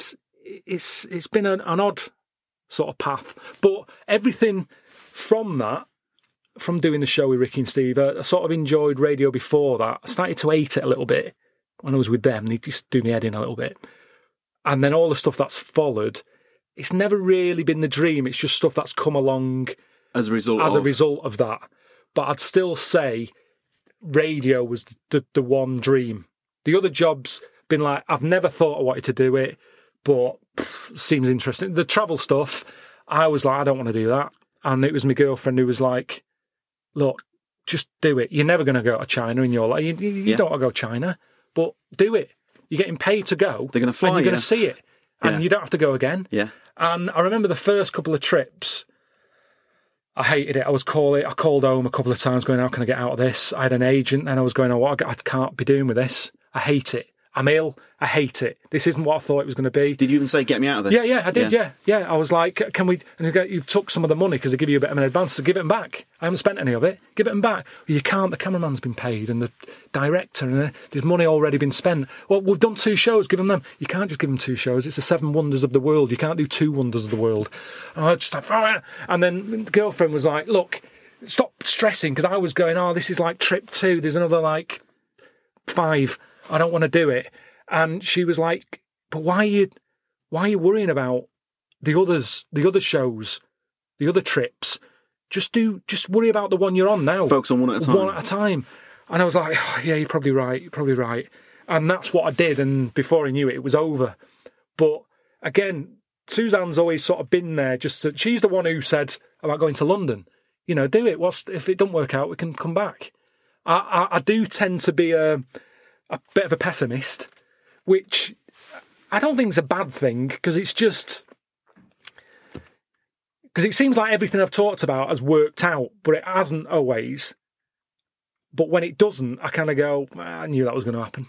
So it affects me less. I, like I said to you, it's a It protection. affects you less. Yeah. The, the, the, the pessimist in you is preparing you to hit that iceberg Yeah, so that when it does definitely. happen, at li- you know, You oh, go, if "Oh, it that happens, you go, going to well, happen. I knew it. I told you that was going to happen. And sometimes Suzanne's all stressed out and annoyed because something's gone wrong, and I, I was ahead of her. I went. I felt like that about three days ago when I was moaning at you. Said, stop moaning. Stop, you stop moaning now. You know. You know what I mean. So, um, I don't think there's. It annoys me a bit when people sort of go, "Oh, you're a pessimist." It's like, well, maybe I am, but that's we're not all the same, are we? We have different ways of working stuff out. Um, growing up in Manchester. Whereabouts were you? South Manchester, place called Sale. Um, Drove past it last week. Did you? Mm, we were up there doing some recordings last week, so I drove yeah, past Sale. yeah, uh, racecourse estate. It's massive, massive estate, and all the all the avenues are named after you know racecourses. So Epsom and Chepstow and all Yeah. that. And um, I don't know. What do you want to know? I mean, So it's you, your mum and dad. yeah, brother and sister, They, they older or younger than you? Karl? older. Um, and it was it was all right. Uh, I'm trying to think. It was just all right. I just used to. What do you want to know? I mean, Was it like it, it was what it was? You just kind of, well, this is where we grew up, and it's kind of fine. Because I'm trying to picture you when you were growing up as a kid. Yeah, I mean, what age are you talking here then? Sort of like, you know, you, you're seven onwards. Seven, right? So I think I've got a. You sounded a bit angry, Karl. I know, but but se- uh, that's all right. No, se- seven. Do I have to be really specific? No, it's just like you know, if you were talking about being really young, it's like you have little flashes, don't you, of things. But that that was going I on. terrible memory, like going right, right back. Yeah, but some people are like, I remember being breastfed. Yeah, I know. It's kind of like, why would you want to remember that? I thought babies were designed to forget Yeah. that. But yeah, so I don't remember that. That's what I was worried about when it's like, what was it like? It's kind of, no, I'm But- not going back but, there. but, but yeah, so seven, seven's like, um, have you started school at seven? Uh, yeah, Right. So I, I think I'm, I'm, I'm all right. Um, seven is infants, isn't it? the infant's going into juniors. Yeah, Yeah. So at school, I didn't, I didn't like it. I knew by that point I didn't like it. what did you like about it? Do you remember? The school wasn't great. It was a wreck, a wreck of a school. Right. It's not standing now. It was falling down then, and it was, it was always cold. I remember that. I didn't, I didn't see the point in having a uniform because I always had my coat on. Yeah. It's like I could be wearing anything under this. Freezing, and it was really rotten school. Like, um, if you if you got done, and you did detention. It wasn't a detention; it was just you staying behind for half an hour. Did have you doing stuff to the school because it that it was that much of a wreck. Well, like, like home DIY type Really? stuff. Yeah, you'd, I'd, I'd re-putted a window. Did you? Yeah, when I was about, uh, like you say, seven, eight. Which, which, looking back on it, in a way, that's quite good, isn't it? Because Yeah. that's something that's useful rather than just sat in a room doing nothing. You've got you doing learning a tr- learning a what's about? trade, yeah. What- but it's a trade, so it was that, and I, I, I did weeding as well, weeding in the playground once. Did not have a caretaker? I don't think they did because who? Honestly, it was such a wreck. A caretaker would have walked in and gone, "Fuck off! I'm not looking after this," because it was a wreck, proper wreck. And it's at that time. Maybe councils were struggling then in the seventies. Yeah. And the walls, I just remember walls being like really damp. You could just sort of put your fingers in them, and um, really depressing. Um, Was that the general feel from out the school, like with all your mates and stuff? well, we, I suppose you don't know anything else. But again, looking back, everybody, you know, I've got a couple of mates who still see, and they sort of go, "God, it was bad there, wasn't it? It was bad." Um, suppose you only know that when you've got perspective and you That's go to an, you go to another school and you go, this is a bit better. it's a bit better. Yeah, it? yeah. I can take my coat off. Not as bad as There's- that. There's heating. Yeah. Um, so yeah, I suppose in a way you're never going to enjoy school when it's like that anyway, are you? It's not. How can you in surroundings like that? Yeah. Um, what else Were your brother and sister at the same? Did they go to that same school? Even though they're, a, they're No, because we moved. I think we came from another part of Manchester when they were at that age, right. Like in uh, just near um, what was it called, Chorlton on Medlock, which is just near the Manchester Apollo, and that. That's where mum and dad were. And then I think they were a bit slummish, the slummy area, and they wanted to clear that. Right. And they moved everyone out a bit to these new council estates. What, So what did your mum and dad do for a living, Karl? I mean, how long have you got? My dad, Uh, as long as I you want. still, but it's just my dad has done everything. To this day, I, I see him quite a lot and I speak to him on Skype if I'm not nipping round. And every time I speak to him, it's like Mr. Benn. Do you know, he's, he kind of goes, that reminds me of the time I did that. And he's kind of like, I didn't know you did that. It's re- if he did a CV, it'd be, it, you bring it out in hardback. Honestly, he's done everything, everything. Because he's from that time when that's what it was like. You- Yeah. You, you didn't need loads of qualifications. You just go from one job to another. A Yeah. factory closes, you do something. So he's done the things that I remember is mainly uh, a lot of driving stuff. Um, worked for the Express, some sort of transport manager style thing with Yeah. the delivery of the papers to the shops. He's done. He had a courier, got a couple of vans, did courier stuff. He had a black cab. He did turfing, which I helped do that with him. Um, honestly, just just The list endless, goes on. Yeah, Yeah. yeah, loads of things that I remember him just doing. Um, So was, he, was he always around then, or was he going away a lot to work? Or Is I just the memory is with my dad work. It was almost like I, I, I knew that's that was his role in the relationship. It's like he was earning the money. It was my mum's sort of job to look after us.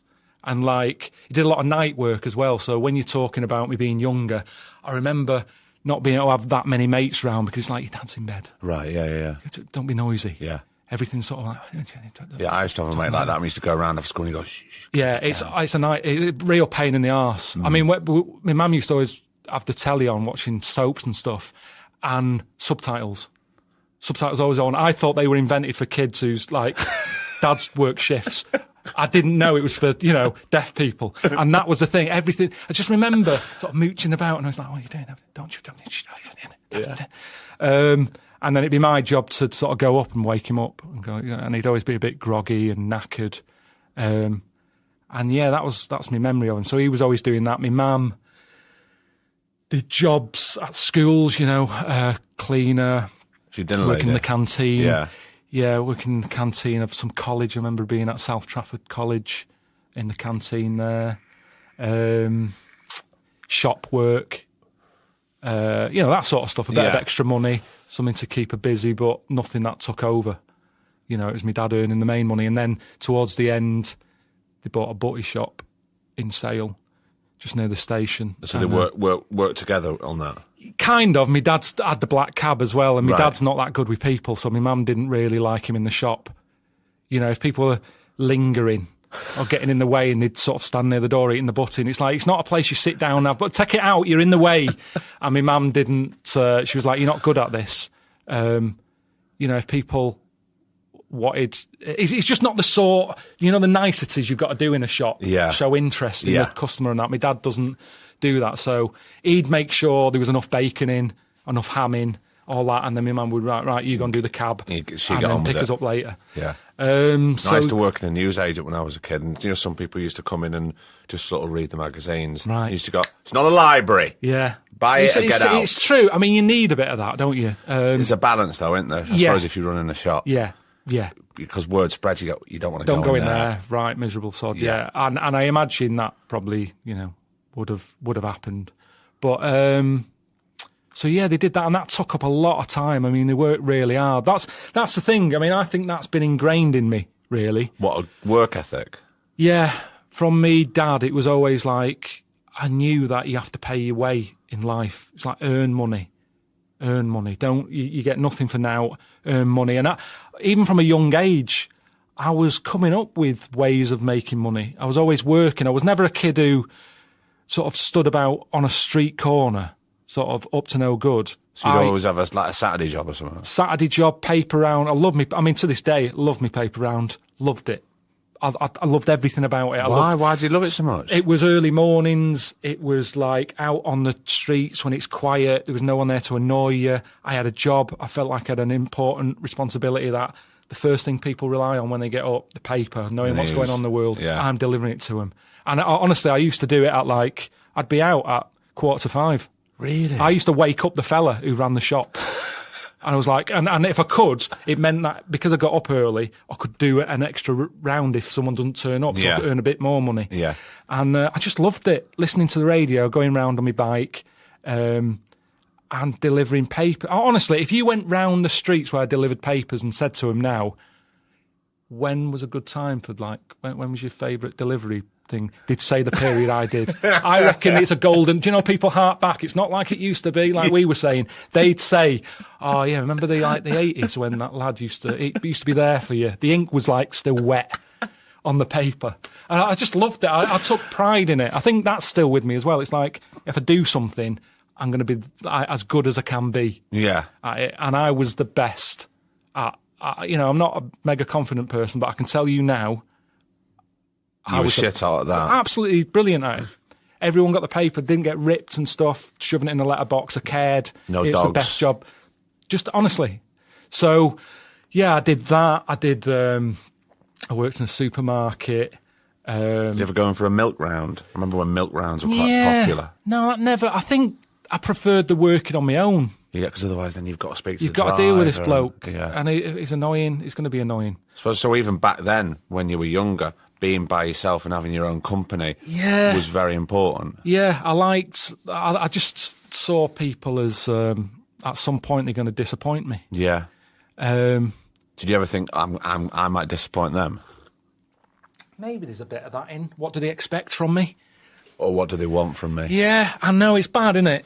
Well, you know, there's no such thing as a free lunch. No, no, I do. I do worry about that. Um, so did paper round shops. I sold stuff, um, computer games. What like what? What like in a shop? No, no, I used to buy them with me own money for like three quid, and then copy them and di- sell them at school. What, and on- tape to tape? Tape to tape. Yeah. And um, that was another. I was raking it in. Honestly, I was like a Gordon Gekko. I had so much money. In fact, that's it got to the point where that's what I was going to school for. I was really busy, like, um, yeah, just selling these games. It got really flogging. popular. Making loads of money. That ended because a, a kid. I did a game for a kid, and then it didn't work. And he said, "Not working." He's like, "I'll have another go at copying it," because he started to. I think it was getting harder and harder to copy these things. Yeah, Maybe 'cause the computer games company kinda got wind of it, didn't they? And it was like, "I'll do it again, do it again." And anyway, he told his mum. Then his mum come in, and it's kind of like, "What do you tell your mum for?" Because it was like his dinner money, and uh, and um, yeah, the head teacher sort of gave me a bollocking and took. I must have had about twelve quid on me that day, and he took all that off me and that was all from the computer again, so I couldn't do that. But that was a good little earner. I sold um, fizzy drinks. My dad had a SodaStream, So I used to like go into the bins, get loads of empty bottles, give them a wash, make fizzy drinks, And go to school, sell them for like twenty five p and stuff. And I, that it's funny because thinking back at it, I used to stand there and go, "Drink it, then," and I'd be like, "I don't want it now." It's like I want the bottle. it was stuff like that, but I did loads of money. It was all little scams. Like, not even a scam, really. It's just making money. If I've got to go to school, I want to make this I've got to get worthwhile. something for me from it. So it was all all stuff like that. Washing cars um, for people. It was all like I say. That was in my head. Got to earn money, and I wasn't. It wasn't because I needed it. I wasn't like spending that money on anything. I just liked it growing in this white tub I had under the bed. And when I, you know, a few pound coins or whatever, a few notes, it's like change that to a fiver. Yeah. And then, oh, it's building, change the fivers to a tenner. And it was just something to look. It was almost like watching, you know, growing a plant or something. It was just watching it get bigger. And I enjoyed, like, I suppose it made me feel like I've got a worth. Yeah. You know, it's like that, I've done that. That money there, that's growing. I'm, I'm doing it. It was for no reason other than just seeing it as, uh, a, uh, I suppose, security as well. You know, hearing that, hearing from my dad that you need money. But it is like your dad because your dad was doing all these All all sorts different jobs stuff. all the time. So you were looking up to him Yeah. and doing what he was doing. and I didn't know I didn't know what I'd want to do with my life if I wasn't working. And in a way, that's what's happened later on in life with with this. I thought I'd got to a point where I didn't have to work and I didn't want to work, but it's it's important, isn't it? I mean, how did you uh, give it? You know, it's, it sounds like radio is this foundation upon which everything else has been built on, on top of that. You know, that was the- definitely. but how do you, how do you, given, you know, it's not like, it's not like you were doing the comedy circuit for 10 years and then you catch your break. It's not like you went to drama school No. so that when you get that break, oh, well, I've, I've been preparing for this for years. How on, how on earth did you cope by, from, from being an unknown guy to Yeah. then, I mean, there was a, there was a time where Oh yeah, you're like the most yeah, talked about like man in the it, country. And I really didn't like it because it's not me. I mean, when I say I know that I'm a pessimist, I also know I'm a bit of a um, what's the word when you don't don't want any fuss and you just kind of. I always sit in a corner. I always get in a corner. Yeah. I mean, even now talking to you, I've crammed myself in a corner for going to rest. What's it called when you don't want Introvert? Introvert, introvert. Yeah, I'm, I am. I am one of them, and I think the reason I liked radio is because it was a way of sort of getting stuff off my head, but talking to myself in a room. Yeah. Do you know what I mean? I do, yeah. say- All right. This is Yak. Hope you're enjoying this compilation. This is David Bowie Starman. Halfway point of the compilation. Enjoy the second half. Cheers.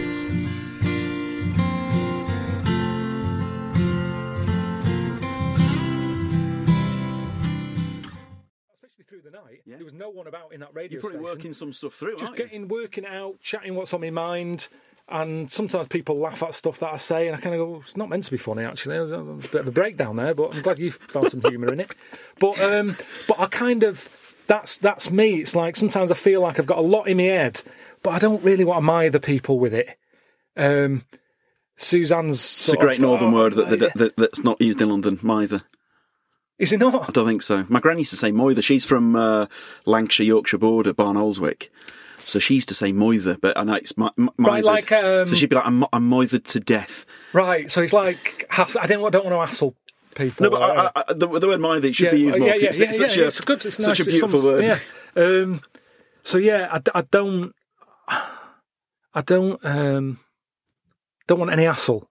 Because there's even um, there's a DVD extra on extras where you are filming a scene, and it, it's the, Oh. the ca- but even on that you you you make a point of I want to just sit in the corner. I just want to.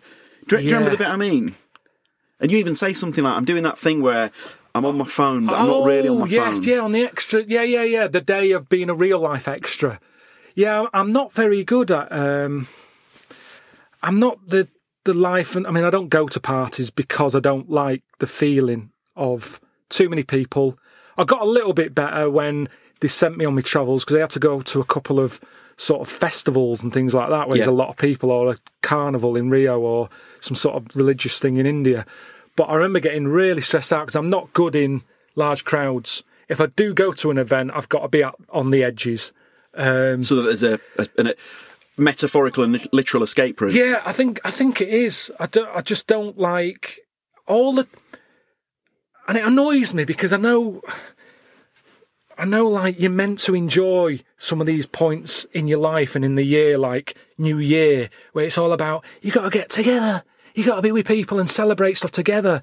And I sort of go, I'd rather not, thanks. And that can come across really like, oh, you miserable bastard. But it's like, no, we are all I'm not. I tell we? you what, I could come along. I could come to that party. That's going to be so fucking amazing. But I'm going to hate it. And I'm going to ruin it for everyone else because they'll be going, what's up with him? Who's that moody sod in the corner there who's just like keeping himself to himself? I don't like it. Yeah. So I kind of wish, I wish I could. There's times when I see people like, I was watching Antiques Road Trip last night and there was a woman on it just laughing all the time. Laughing at stuff that wasn't funny, but just laughing all the time. So a laugh became a bit redundant because it's like you're just laughing at everything. Yeah. But Suzanne was like, "No, she's happy, isn't she?" I'm going, "I don't know." Well, I, I and she's going, "Oh no, you're not. Are you? You're a bit miserable." I'm going, "No, no. Will you stop?" It's just, I'm not like that.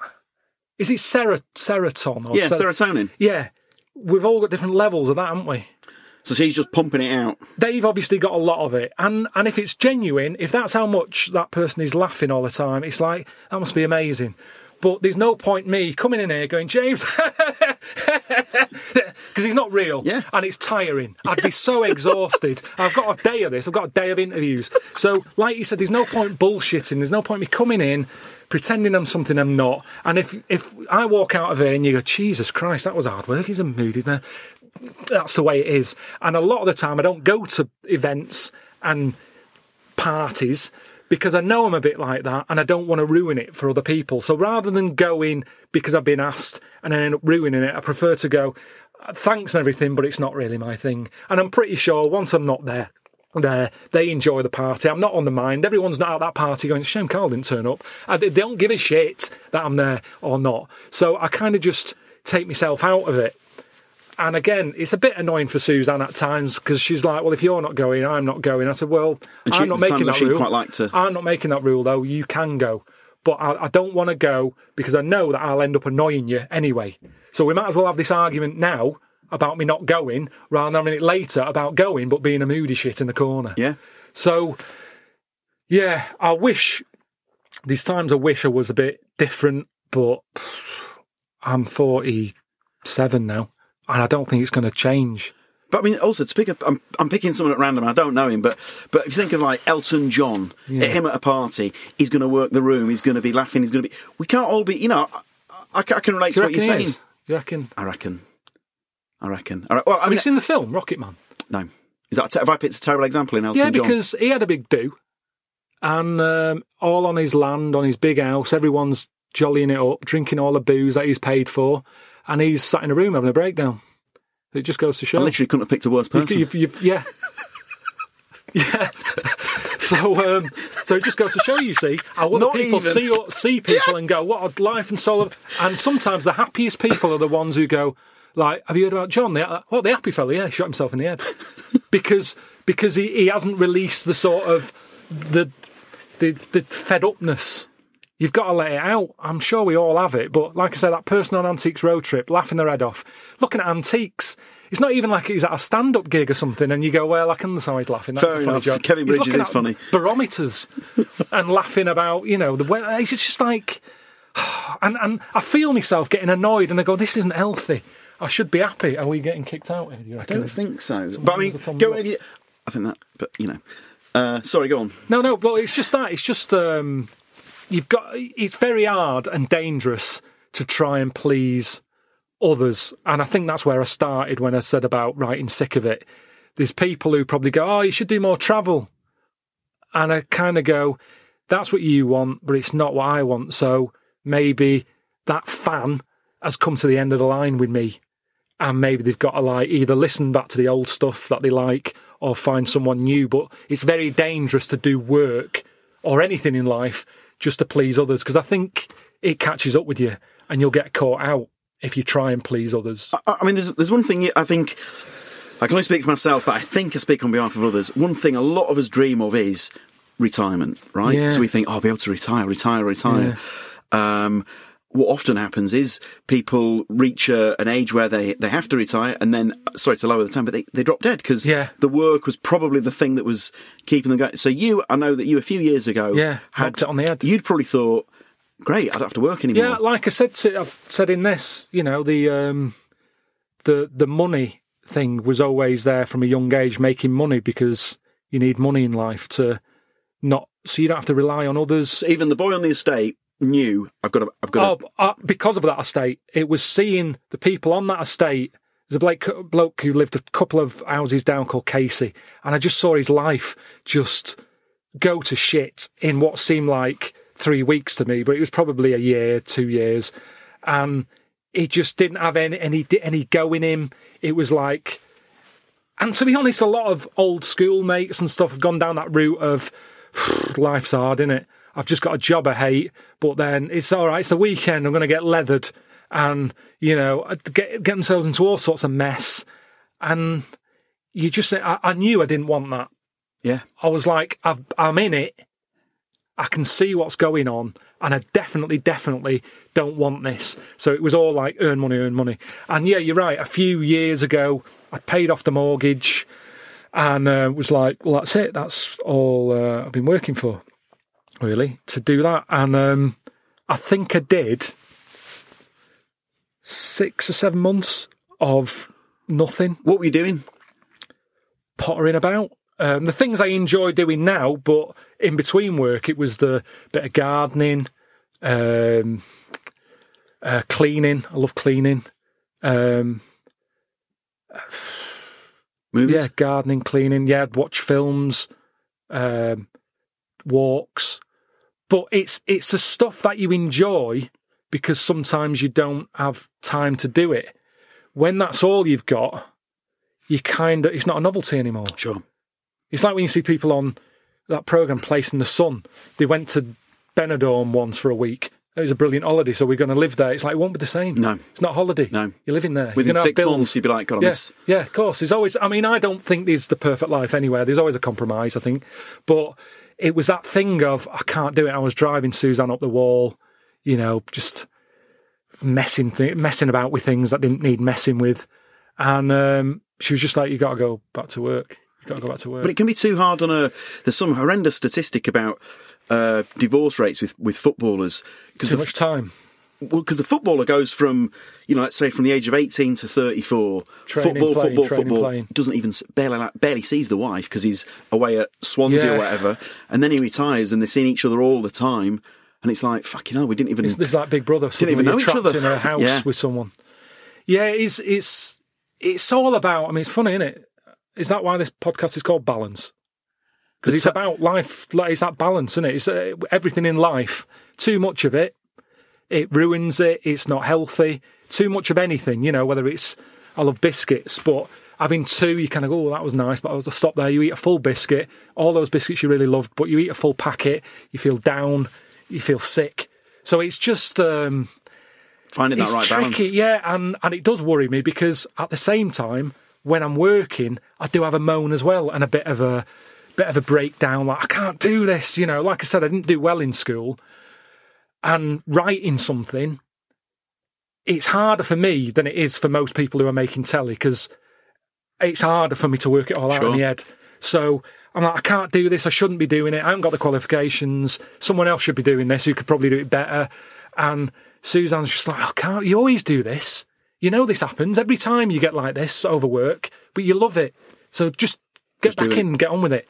But it is part of the thing. I do like it. I like the struggle. I mean, they sort of say it's the hard stuff in life that sort of keeps you going and a sense of achievement when you get to the end. That's right, The easy stuff, yeah, it's easy, but what do you get out of that? You were challenging yourself. Nothing. So it's making sure it. Again, it's a balance. I don't want to be one of those people who works all the time, where you don't have time to enjoy those walks or me cleaning or you know doing the gardening. Sure.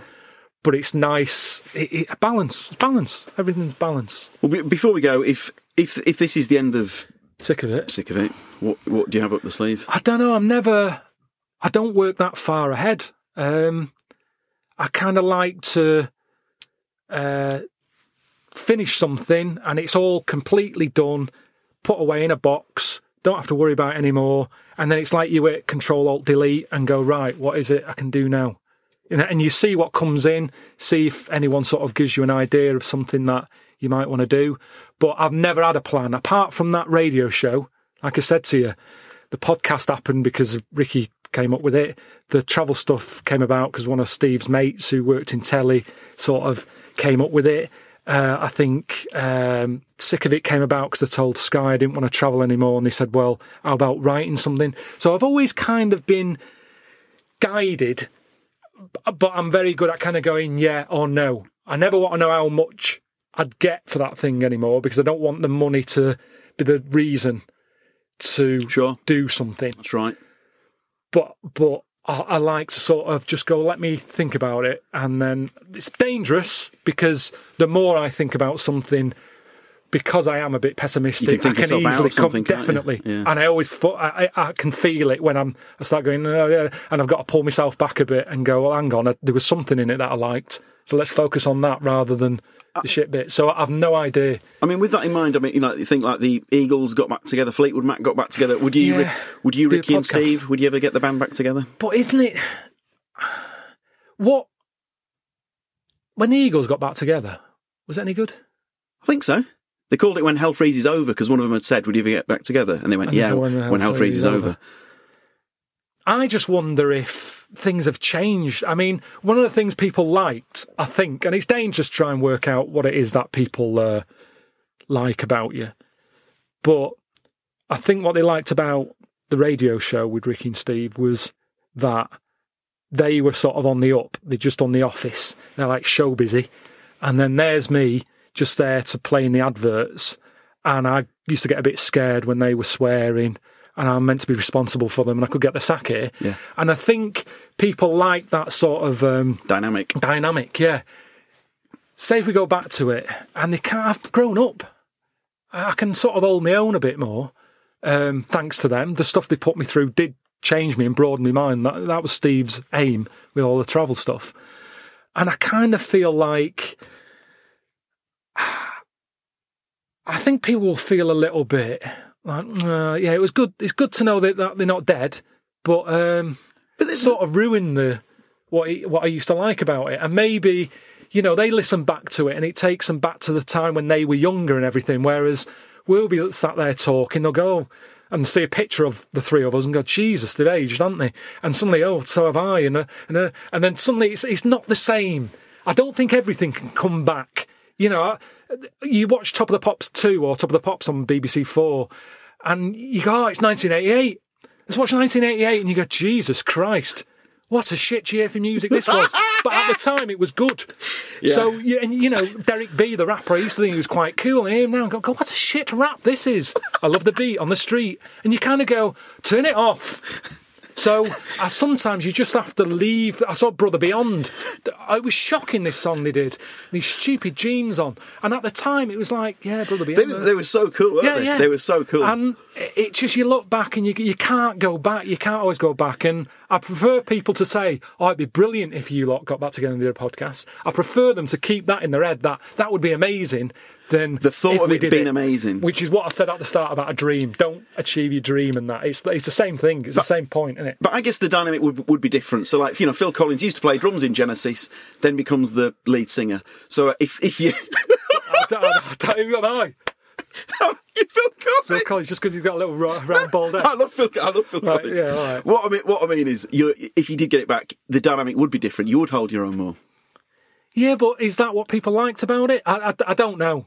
Who knows? Uh, it could happen because it's so easy, isn't it? It's so easy. You've just got to have a better time and three mics, and, and it doesn't. And it's not live. We could do it and see how what it's like. But there'd be a lot of pressure on it. I imagine even going in and going, let's just see what happens. We didn't know when we started doing podcasts. We didn't know if that was going to work or not. When I did the travel stuff, I didn't know people were going to be. I just did it because it's like, oh, I'll take the money. It's on Sky, and at that point, not many people had Sky. It's like, oh, no one will see it. Great. And then suddenly, it's like, shit, people are watching it. It's one of the mo- it's And the it most big. successful shows Yeah, in Sky's yeah. history, isn't it? But that's what I'm saying. Suddenly, you sit down. There's a different pressure.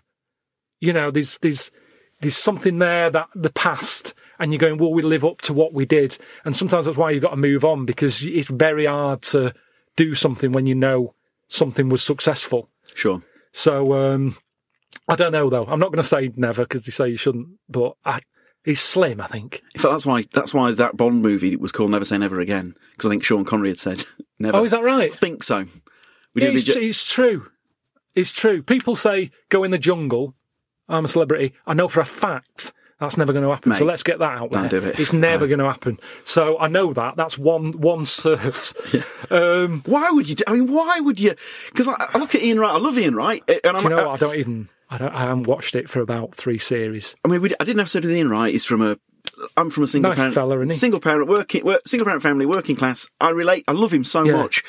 He, he's successful, and I just think, Why? why are you putting yourself through that? I mean, some people say, "Oh, I did it because I actually want the experience," and I'm kind of like, "Well, it's not really real, though, is it?" Go go to the jungle yeah. if you want to go and have a wander. And if you get sick of it, you can go. You know what? I'm going to go home. It's not what I thought. But to be trapped, and the mercy of the edit, where, they, where you can well, come across it. like yeah, a right could be. Yeah, yeah. There's that. That's quite scary, isn't it? But um, I'm also a big lover of like insects and that, and I don't like the way people stand on them and all that. Sure. I'd, I've be walking around saying, "Watch where you stand." I've Yeah, done, yeah, you've just yeah. done on a fucking. You've just cockroach." eaten it, Yeah, what? exactly. Yeah. That's what I mean. So that's that's the main reason I could never do it, and I don't want to be stuck in a small place with, you know. People you might not Sunita like. or whatever. Yeah, I don't. I've, I've never met her, but just just being trapped. Have they repeatedly approached you? I take it then.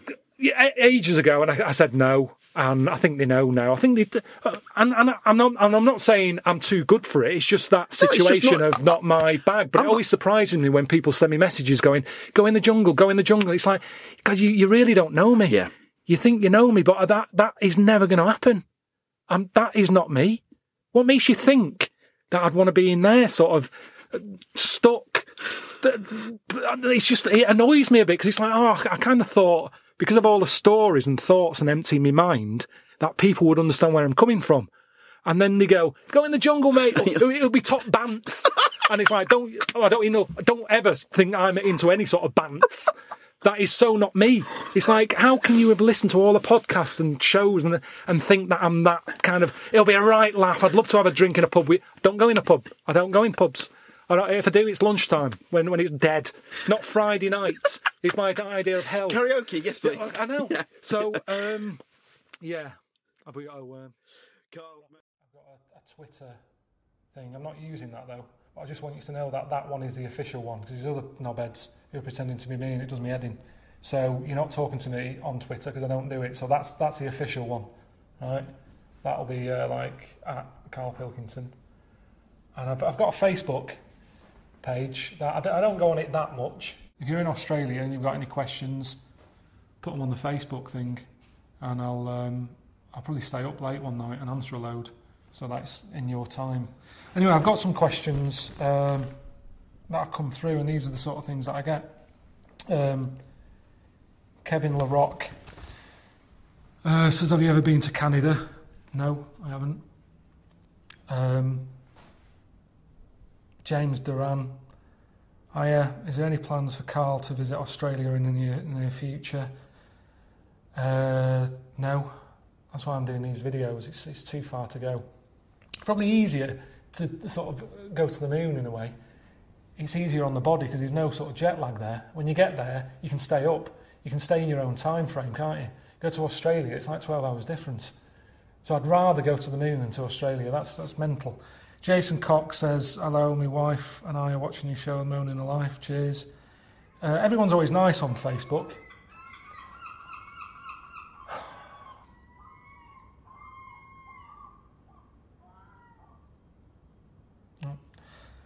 Uh, Jason Cox, he just says that him and his wife are enjoying watching the Moaning Life, new program. Cheers. Um, Mary Stanley, all right, Karl, it's Wednesday. Tell me what you're working on right now. I'm not working on anything. I just want to have some time off. Uh, I've been travelling about. I've got a bad back. It's my L5S1. It's sort of gone and worn out a bit. So I'm not doing. Um, in fact, I'm, I'm well bored at the moment. Again, that's part of the reason I've sort of agreed to do these videos. I haven't got much going on. About three days ago, you're not going to believe this. I was sat there trying to make the cat yawn. You know, they say yawning's sort of contagious. Uh, I wondered whether it was in the sort of the cat kingdom. I just sat in front of the cat yawning. After about 40 minutes, it yawned. I, don't know if I've caused that or it's just bored. But that's the sort of life I'm having at the moment. Um, I'm not up to much at all. Simon Bately, quick question: Would you rather eat shit flavored chocolate or chocolate flavored shit? Good one. Uh, probably, probably um, chocolate flavored shit, isn't it? And if it tastes nice, then it's not that bad, is it? It's like most food, isn't it? A lot of food, a lot of treats. I, I like full of shit, but they taste nice. That's why we eat them. So that's what I have. Hello, Karl. Do you speak Portuguese? No. Um, have you tried a pomegranate? I mean, Jesus, these these are the reasons why I don't go on Facebook and Twitter a lot. These are the sort of questions I'm getting. Um, I have tried a pomegranate. It's a lot of messing about.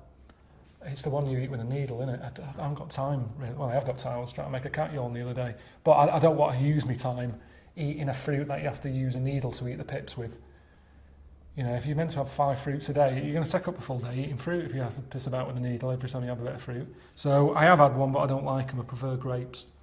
Um, just wondering if you've seen the Human Dolls program on Channel 4. It's mental. Yeah, I did see it, yeah. Right, so that's that. Listen, I know you've been asked about this a lot, but so many people are texting about it. You had said in the past that you wouldn't be reuniting with Ricky Gervais again or acting again. Is that true? Well, it's just, I mean, who knows? It might happen. It's just that, God, the amount of stuff we've done together, it's, I don't know. It's like the podcast. I did a book signing yesterday, and loads of people were saying, Oh, are you doing podcast again? But if we did, I know people would go, Oh, they shouldn't have done podcast again. Oh, it's not the same. People always do that, don't they? They, they wish for stuff, and then when they get it, they go, It's rubbish. Shouldn't have brought it back. Then they do it with uh, Dad's Army or something. That's rubbish. so any, it's, I don't think it's ever good to sort of try and recreate something that was then. You know, we've we've done about 400 hours of radio stuff. So if that isn't enough for you, you know, you can have too much of a good thing. It's like, um, do you watch much telly? Yeah. Have you ever seen Mad Men? Yeah. Now it was great at the beginning, you know, series one, series two, but then it's got to a point where I'm watching it. I'm going, I don't, what, what what's Where going are on you here? now? Where- Where are you now? I've, I've, to be honest, I've given up on it. I was on series five, and I just thought this is like Coronation Street. Now I'm, we're in the same It- storylines. It rally, it rallies again. Go back No, to it. I'm not. I've been Oh, that. go I've been on. that. I've moved on to uh, Wayward Pines. Oh, it's Got a good. new It's thing in good. his life. But do, do you miss it, radio?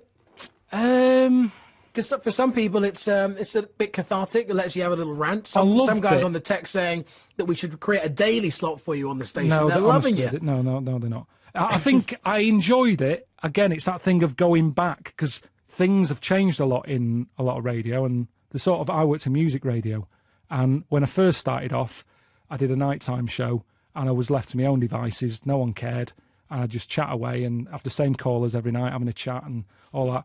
And then they go, "No, we're changing the format. Now it's more music. You talk twice an hour." And you're thinking, oh, this is rubbish. And I ended up being sort of sacked.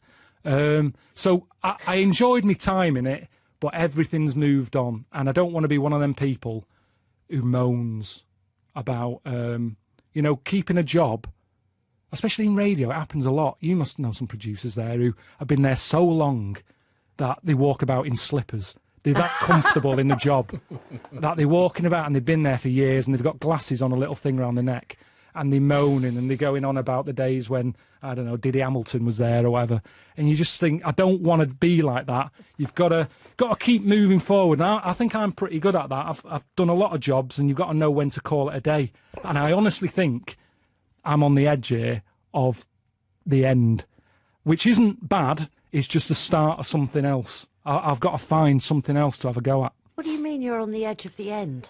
because it's like you said before, I've become sort of chucked in with all these other celebrity shows you're talking about, and you, I don't want to be part of that. So I've I've done this for long enough. There'll be enough people texting in, tweeting into you, going, "I can't believe he's still getting away with doing what he does," and it's about knowing when to just say, "Yeah, that's been a good run." You know, I've done seven books. I've uh, I've made thirty episodes of travelling about and I don't. Good on Michael Palin. I mean, full. I, I don't know how he does it. David Attenborough. How has he done it?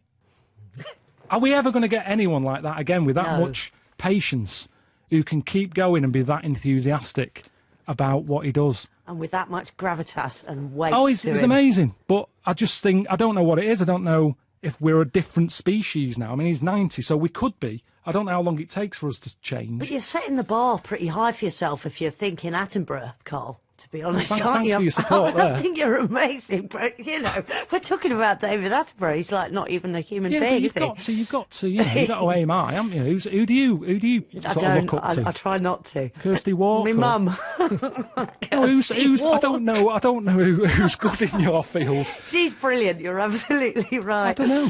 I don't know either. But by saying that, Karl, but by saying going back to the beginning of the end kind of thing, are you are you- were you looking for this new challenge? Are you going to step away from TV, the spotlight? Is it? Yeah, wanna get out of really the- like it as much as uh, I've enjoyed it and it's paid off the bills and all that. I think I'd prefer to try and do something away from people sort of coming up to me and going, "Oh, what are you doing? Have a picture, have a selfie." It's it's weird because most people who get into this line of work almost do it because they like that, whereas it all happened by accident for me, and I find it a bit um, overwhelming at times that when people strangers come up and uh, it's not really what I like. So it would be. It's nice for people to say they enjoy something you do, but uh, it's also a bit not what I'm about, if you know what I mean. You mentioned Justin Bieber. Not long ago, he, he put Yeah. out a statement online saying that he would not take any more selfies Yeah, with you, you can't do that though, can you? It's part. It's part of the gig, is it? You can't have the. Uh, Good stuff without having the bad yeah, stuff. Yeah, it's that, it? You know, you've got the different coloured Smarties or whatever. They're all part of it. You know, it's yeah. You can't expect people to watch your programs, read your book without wanting a selfie or whatever. But um, it's just weird because even my mum and dad don't have pictures of me about the house. So it's weird that strangers want a photo of me. But it's the world we live in now, isn't it? Some people don't even say anything. They just come up and stick a camera in your face and take a picture and run off again. Um, and I, I find that all a bit weird. What are you going to do instead? I've been thinking about it. I mean, it, you know, I only finished a book a couple of months ago, really, so I haven't really had time. Um, I'm just trying to forget everything. I'm trying to teach myself the ukulele at the minute. Oh, how's that working out? Not good because I'm I'm probably too old and my fingers are set in the ways, and you have to sort of stretch them a little bit and stuff. Um, but I'm I'm watching YouTube videos, seeing how I'm getting on. Could you eat a knob at night now? I wish I never said that. Honestly, it's the one thing I hate. What was it that David Baddiel said that time? um, when you, you were saying um, we, we were having dinner and uh, we- Karl was round David Baddiel was round and Karl was going, I've done nothing. He's just on the radio, he said nothing. And David Baddiel went, no, you did that song, Knob at Night. Oh. Yeah, that's how I still feel. I don't feel like I've achieved anything that I'm really, really proud of. Well, his mum phoned him up and said, saw you on telly the other night. She thought he was in the office. It was just a bald bloke fixing my computer. He's going, no, it was you. He's going, it wasn't me. I'd know if I was in the office or not. Yeah. Um, that is the sort of job I would imagine you would be doing, though. You'd be fixing, Fixing something, wouldn't you? stuff. I'd probably be quite happy work. with it. Sorting some problem out in the lavatories. Sort of quite a manual job, I reckon. Yeah, maybe a courier that you come in. Helmets on. Yeah, but it's a perfectly round. He Yeah. wears a pink helmet, and they don't see the difference when he takes it off. Fair though, I've had a go at you. Yeah, but also I'd like to point out I don't. It's Ricky who, who insults him. I don't call him. I don't call you names. I mean, I might sort of stand behind him and sort of cheer him on, You like the worst kind do. of bully's mate. Do you know what? I'm going to show you how good I am. I'm not even going to. No, he's a, he, if you I'm listen back on the old radio shows, he's Yeah. always having a go. At He has me. a go. He he said when he first met Steve, he said it was a shock. He said that first thing. He said, "Oh, that's a shock." So what do you mean? He said, "Well, I've never seen anything like it before." He's telling him to his face. Then he's putting on air that Steve's weird looking. Okay, so he started it. But like in the same way that you've sent me on these trips to make me stronger, Mm. I think me saying that has done himself up a bit. He has. No, he's he's, he's Oh, look at you. yeah. So in a way, you've, Yeah. you've made me a better person. He went from a weird little goggle-eyed freak to sort of Clint Eastwood. Yeah. God, I suppose I have in a way. Hang Thanks, on, mate. hang What, on, hang on, what was that picture from that used to be on the notice board in the kitchen at XFM? That was your Steve? favourite, wasn't it? It's the weirdest picture of you. It was from the Guardian, and you know when they they they use the wide angle lens to get everything in. You were on the edge of it, so your head was really distorted. It looked like someone had picked up Stephen Hawking by the legs and whacked him against a wall. It was Right. really weird. Yeah, yeah. I don't and he know what loved you're it. talking about. He used to Really? go past to go and look at Steve. Hey, listen, we were both in the uh, Heat magazine Weird Crush. Did Yeah. you? How did you get He on? in won. that? He came number did one. he win? He won. It, yeah. I didn't even win, you see, so I got handed to Karl. Yeah. I No, lost out better, to though. Who did I lose out to? No, he, him. So he's No, it wasn't with the you. same- no, it was different years. Oh, was it? Wow. Yeah. Have I, have I ever lost it with you? Pretty and done perfect, that? isn't I? I'm pretty perfect. No, I don't. I'm I don't smart, think I'm I'd, sort I'm of go good, with good looking, nice. with names. Sort I'll sort of go, you fucking knob. I don't think you can use that on ITN, but it's more that for me. I don't pick Well, they can. animals. They make a special exception for me. They're allow. yeah. They allow someone to call me a fucking knob. Have I- when- it's the only thing they said. Can you it's remember- actually handed down on parchment. Thou shalt not say Not- fucking thou shalt knob. not censor. unless it's unless it's against Ricky Gervais, the fucking knob. When have I lost it with you and sort of got annoyed and You haven't. something? You haven't. Um, when, oh, you wanted me to call off the poster campaign.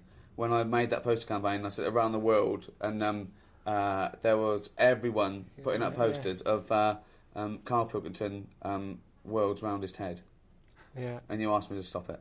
Yeah. That's it. Yeah, yeah. You thought it was demeaning. It's not glamorous then. Oh, honest to God, it really isn't. But I remember I met Michael Palin once because he had a book out at the same time as me, and we were chatting about it. And he said, "Oh, you don't like it, do you?" And I, I moaned about certain things. He went, "I know." He said, "I feel the same way about it, but people won't understand. So you're better off not moaning about it because people will go, "You're really lucky. You could be working, you know, in a pit or whatever."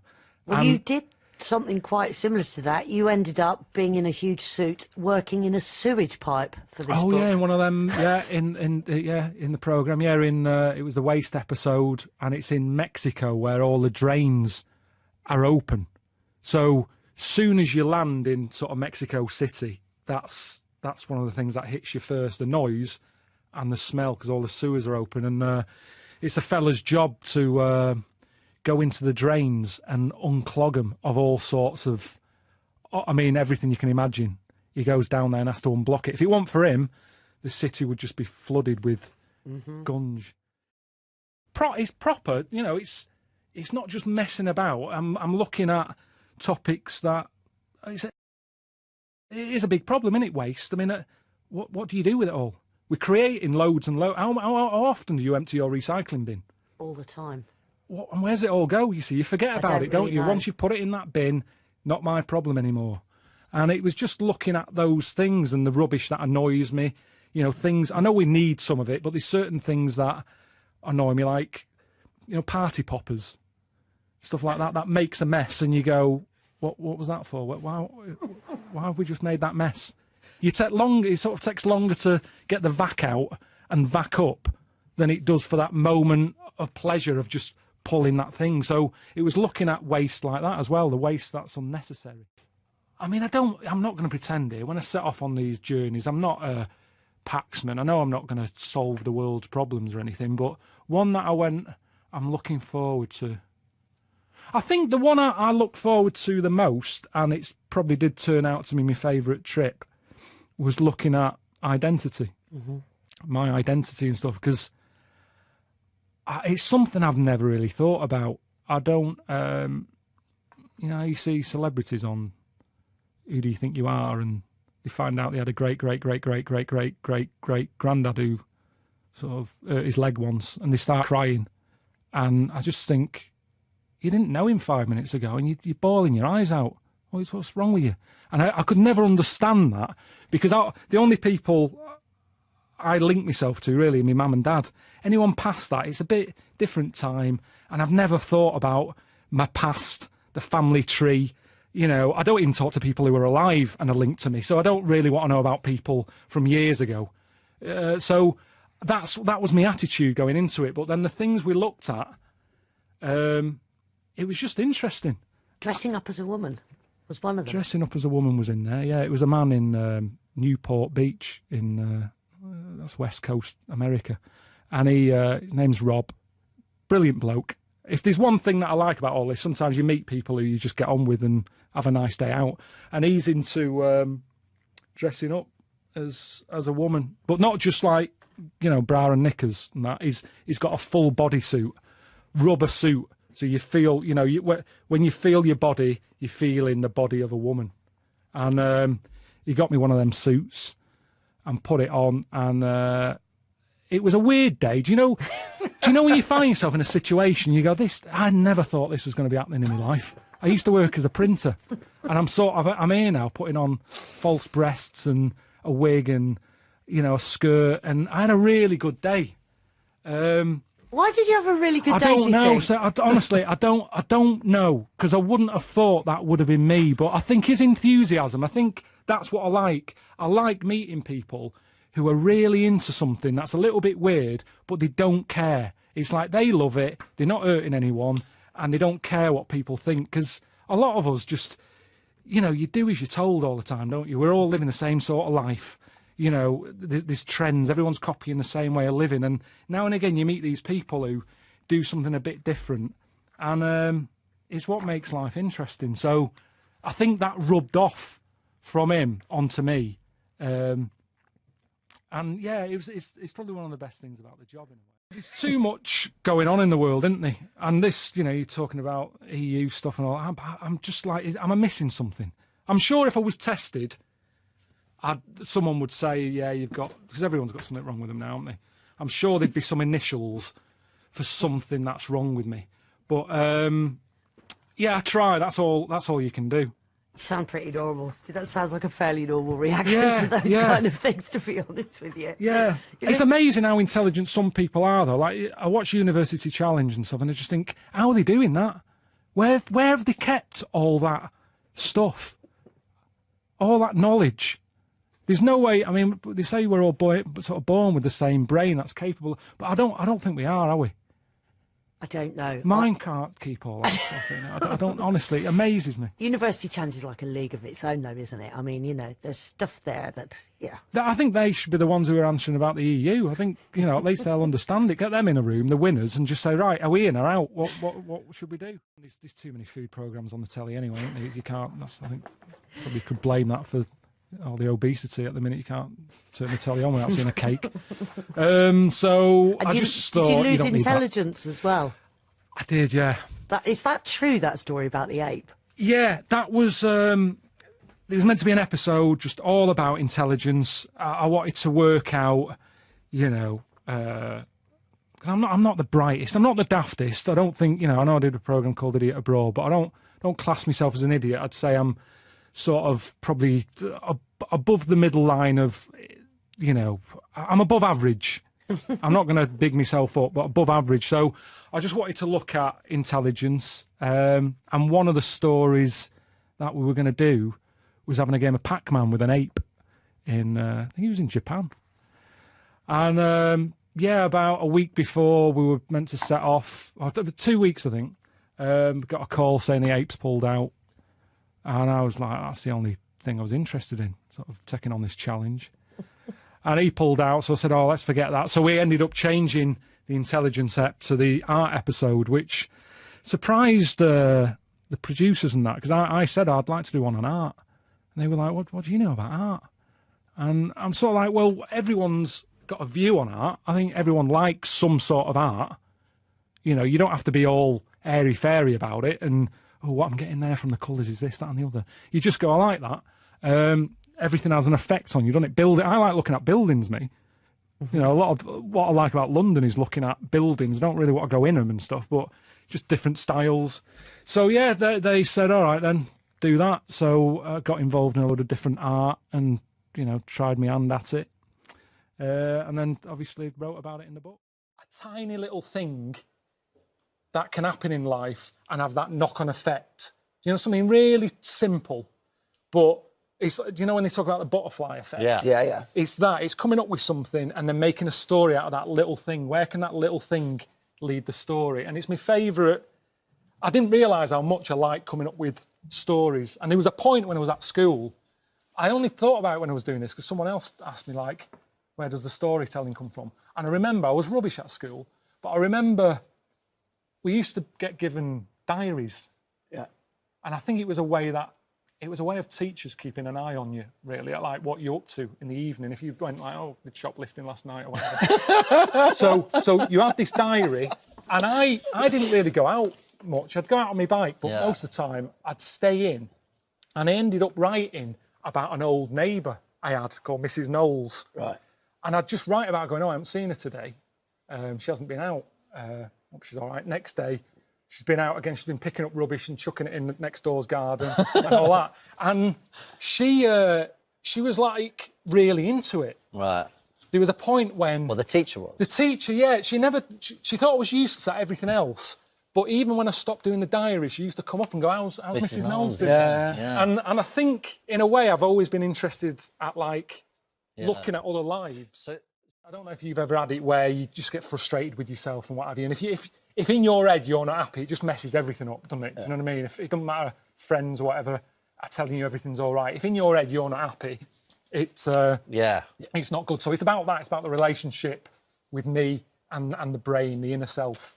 Okay. I think that sort of explains it. Who do you prefer being? What in this? Yeah. Uh, uh, probably, probably the inner self. it's probably a bit more me than me. It's complicated, isn't it? But um, but I'm I'm all of those things. I'm I'm I'm, I'm a mixture of. We all are, aren't we? I was Yeah. talking to someone the other day, and someone asked the same question, and it sort of makes you wonder, like you two now, how much are you being 100% you? Especially when you do telly and a camera's on you Yeah. if you do you know what I mean? How much of a bog standard 24 hour day are you allowed to just be you? Everything that's going on in your head, you say. You, you don't, do? No, of course you, don't. of course you don't. So it's kind of that's what it's about. It's like who are we really? Mm. Who are, most of the time we're putting on a, a, like a, a show, aren't we? But I don't. What I don't get with that is, and you'll know on Radio One, Lady Gaga. She's walking around in a dress made of meat, wasn't she? Yep. Yet they're calling me a, an idiot. That's what annoys me. I haven't done anything wrong. I haven't. Uh, there's nothing that I'd see and I go, "Oh, I wish I didn't say that," or react like that. I think Uh, all right, most the- people Karl's would react. not an idiot. I'm Karl not is an idiot. I didn't It's do a- well at school. No, it's all. It's, it's more to do with the fact that, that he's got that, that you know what you call little Englander syndrome, where you know he packs um, sliced white bread and tea bags when he goes abroad. So that was the sort of gag. because I'm not into the everything's rosy type of uh, stories. Everything works out in the end because it doesn't in life. It doesn't. You get on with it, and you look back at stuff and go, "Well, it wasn't that bad, was it?" But it, I I don't like um, the sort of. I'm trying to think of the sort of films I'm talking about. Just, just those films where everything's Tied ticks off. Yeah, everyone's happy. It's like it doesn't happen, but that isn't a bad thing either. As long as you learn from your mistake or whatever, you move on. And I, it's weird with me because in I'd say my life, a lot of memories that I've got are the bits where it didn't quite work out or it's rough time. Yeah. But they're the ones you look at and go, "Oh, remember that? You know that struggle. It's a good time that. That's right. Sort of, um, you know, close. It's you're on the edge of this could all turn to shit, or it could happen." And you haven't quite got enough money, but you're getting by, and you're going, "This, this might be it." Because that's the adventure, isn't yeah, it? Yeah, yeah, it is. And once you've got it, it's never as good, anyway. Is it? It's That like a so- dream, mate. Hundred percent. A dream, you know, it's kind of like don't don't achieve your dreams because it won't be as good, and then you've got to think of a new dream because you've got that one. So it, I I haven't. For me, when I was younger, it was always getting on the radio. That's the one So thing. when you were a kid, you wanted to be on well, the radio? Yeah, by about the age of eleven, um, I was rubbish at school. Did rubbish at school, but there was always music on in the house. My mum always had the radio on. Brother and sister had music, um, and after school, I'd sort of draw. I'd, I'd, I'd sit at the top of the stairs, just drawing with Piccadilly Radio on, and uh, in Manchester, Mate, I- And I had the exact same life. Yeah. I'd sit in my bedroom, drawing, Yeah. listening to Yeah, I was- maybe, I'm dead- dead maybe. Steve Wright on Radio 1 or right, something right. like that. and and that that uh, and I used to hear them, and I like back then radio was different, wasn't it? Now it's all how many songs can we play in an hour? We've got another four coming up non-stop. Keep listening. There. So And true. adverts.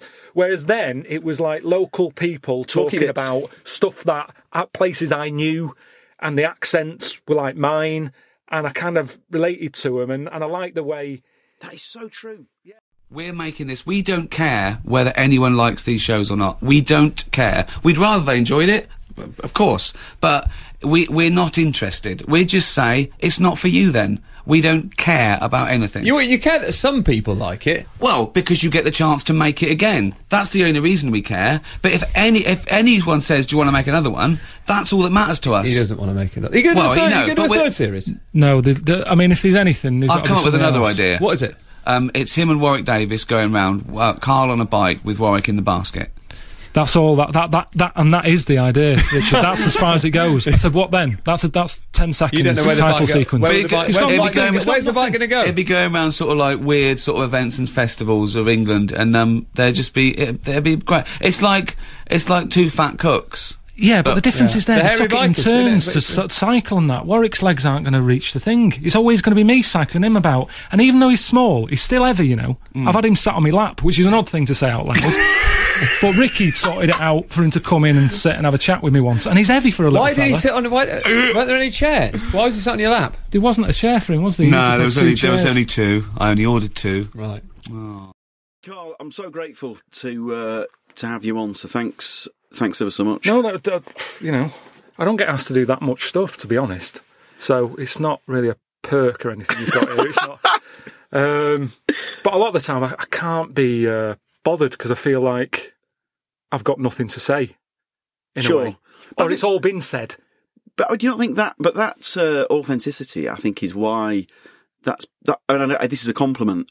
I, I don't want to make you awkward or anything, but uh, I think people love you so much because you are honest. There's no. I mean, we were chatting before. There's no. There's no BS, is there? You know. Well, it's easier that way because I just think you get caught out, don't you? Because people remember stuff. Must be exhausting In fact, well. they remember stuff more than I do. Because that's that's the one thing that is weird, you know. When because like I said, I've done podcasts and all that, um, talked to, done books written about stuff that's happened in my life or whatever, and people remember it more than I do. Yeah. So they come up and say, "Oh, I love that thing you talked about," with it," And and, you've kind of like, "What?" And it, it's it's weird. It's really it's like I've got dementia or something, and people are almost like a family member, and they're telling me stuff that I've gone through. But I'm like, "What?" Yeah. And then the more they explain it, I go, "Oh yeah, yeah, I remember that." But to me, it happened to me once, or I said it once. And why would you? Re- why remember would I listen back? from- Or, uh, and it's funny how you know people sort of remembered all the detail that I talked about, but to me, it's gone. And I feel like with all the travel stuff and everything that I've done, you know, it's almost like I've done too much in a short space of time, and I can hardly remember any of it. It's like snapshots. All the travel that I've done. There's some people who live a lifetime and Sure. don't go to all the places they've been to. So to do it all in the space of like four years, I think I went around the world like two and a half times or something. So you kind of have little snapshots, but it's it was all too much for me, and my brain can't. I know my brain's not that good really. When it there's loads of problems with it, but one of the things is like memories and stuff really flaky now. So um, it is weird. That's I, I, I, and I'll never get used to that either. People coming up and how's your uh, you know Uncle Stan and all that. Sure. It's like it died ages ago. Yeah. And then they're shocked. It's almost like they're sad about that because I, I should have warned, sort of. Warned By the way, before we news. chat, the following things have happened. Yeah, you know. yeah, yeah. A little catch up, like one of those things you get before a program previously. A little, but um, but yeah, it, it is. It, it's odd, but my point was there that yeah, you can't you can't really bullshit, and it's better not to. What what's the point? Totally. What's the point? In terms of that memory thing, you know, there's an American comedian called Jay Mohr, and he said he made a movie with Eddie Murphy. Right.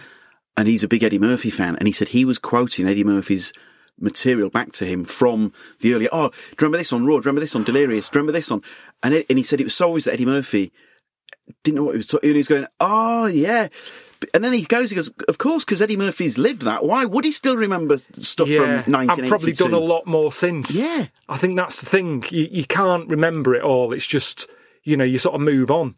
And especially on that travel stuff that I did, because it was always a bit of a shock to the system anyway, you know. And if you're dealing with something as a surprise, I think it's like your brain's getting rid of stuff you don't need to remember anymore to deal with what's in front of you now.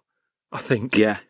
It was all like. I, no, I, I think that is the thing. I- You- it's hard to explain, but y- your brain can only store so much. Yeah. And then I think your brain, from what I understand, makes the call. You don't need this anymore. I know. You got you, the stuff that's happening now is more important. So but that's what- annoying though, isn't it? When it, It- yeah, remembers, it is. remembers a bit, but not enough to be useful. yeah, It's like, well, forget it all then. yeah. Don't Yeah. bother remembering that you once, you know, that that's what happens on quiz shows and stuff. You sort of have a question, and you you go, I know this, and you and you do, but you don't, and it's kind of like just forget it then. just just it's better off just going, I don't know.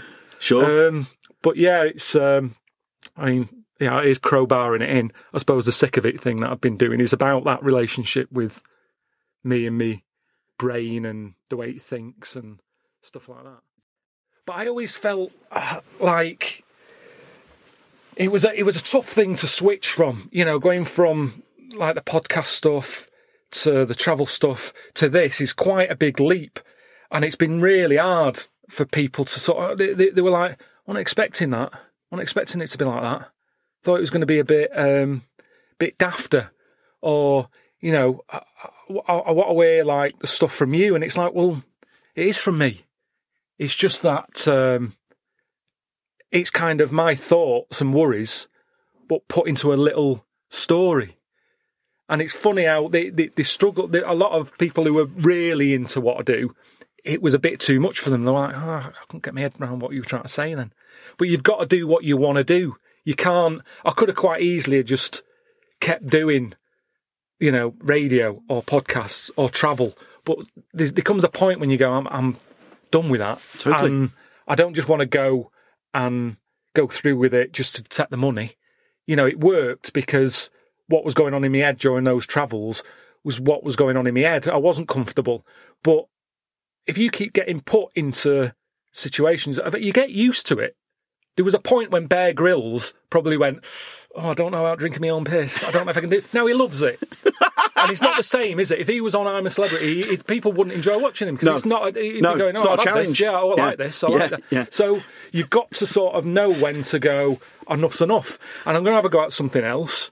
And um, maybe some people drop off and go, oh, it's not, it's not for me. But I hope that some other people went, well, I didn't like his other stuff, but I like this. But it's quite hard to get people who have made up their mind about you to give you a go Absolutely. on something else. It's so hard. I said, Karl, do you want to be an extra for a laugh, just to the, just for the just for the Pilkey fans out there? And he went, no. I went, oh, go on. It was after. He went, no. I said, it's pork chop catering, pork chop. He went, all right. How long will it take? I went, twenty minutes. He went, all right. So got him a car. He came down. He had pork chops, didn't you? Yeah. Good, wasn't it? Yeah. And um, I said to the makeup people, I said, make him look as gimp as possible. So they put on this awful sort of curly wig, gave him a moustache. He looked amazing. But he was comfortable with it because he was sort of hiding behind it. And then just before we shot it, we whipped his wig off. and it was like we'd woken up a baby bird and thrown him out the nest. he was really uncomfortable. It, it, it's actually on one of the, the outtakes, and it's him. I'm, I'm crying with laughter because he's looking around, everyone's looking at him, and he said, This is like a nightmare.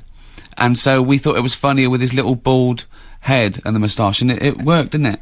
But hmm. what's interesting about that, Karl, is you were comfortable hiding behind a bit of a mask. being- Yeah. You, Yeah. you were comfortable watching yourself as a cartoon on the Ricky Yeah. Gervais show.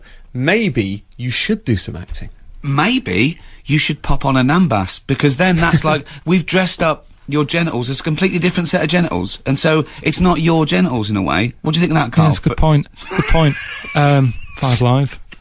Um, the thing is, I can't remember words. Right. So, like, Ricky got me to do an advert for one of his stand-up things. And how long was it? Thirty seconds. Hmm. I can't remember. I'm not got to be an actor. You've got to have a good memory. If it was that thing where they just go make it up, Be I can right. do that. You can't remember 30 seconds. Well, that's what I worth do. Honestly, dialogue. it's really hard. my film roles. Yeah. I, go, I, I just make some on the day. Is that all right? I, I couldn't. I can't do that. It's a tricky bit of. Uh, Just, for, just for, Karl, what do you say to those people um, who say because of your um, mental disability uh, that I am bullying you and, exp- uh, and exploiting you? What do you say to those Karl, people? Karl, interesting question, Karl. Mm. It's been asked a lot, but no one's stepping in, are they? no one's helping, are they? It's gone on for 10 years. They say what goes around comes around. When's it coming round then? When's something going to happen to him? When's something going to squeeze his head? what you're saying is, if people are accusing him of bullying, why aren't they actually rather What just have they words, done about it? words, What are they doing about it? What are they doing about say, it? Oh, this is bullying. All right. Well, what, you, what are you watching it for then? It's ridiculous. Of course, it's not bullying. We're friends. You know, it did. All these people would- would rather whinge about. They've all got their conspiracy theories, but what are we meant to do? yeah, that's what you're talking about, isn't it? You don't know. It's tricky getting a sponsor and that, like one that Well, you it's care hard. about, rather It's hard. than Well- hearing. I hear other podcasts where they're going, you know, so and so fresh underpants, get them free, buy an order now, get an extra pair, da da da, and you're kind of thinking, Jesus, really selling your soul. I don't need any more craft beer in my life. That that's the other one. I'm yeah. all right for a website. Yeah, Do you know yeah, I mean? yeah. It's all that. It's all so that therefore, stuff. it just you just become the norm, and what we kind of, I kind of go, well, we've done this from scratch. I kind of don't want to I've throw it all in the bin know. now and it depends, doesn't out. it, if you need it to keep it going and all that. But it's tricky. Well, every little helps, doesn't it? But Yeah. There you go, Tesco. They could them, come on board, couldn't them. they? Oh, just something linked to it though, isn't it? So if cinema or something, or something that you sort of Yeah. it sits well with it. Or something that people, just something that people would genuinely use. Go, yeah, I, I, I need fifteen percent off that. Yeah, but I don't know what. I don't know. Tricky. Do you need anything in your life at the moment? Do I need anything? You don't need that much, do you? It's for me. It's um, I actually enjoy the thinking if I need it. What the what the time and the space to think? Yeah, but but like like recently, there was a case when I was thinking about getting a table tennis table. Why?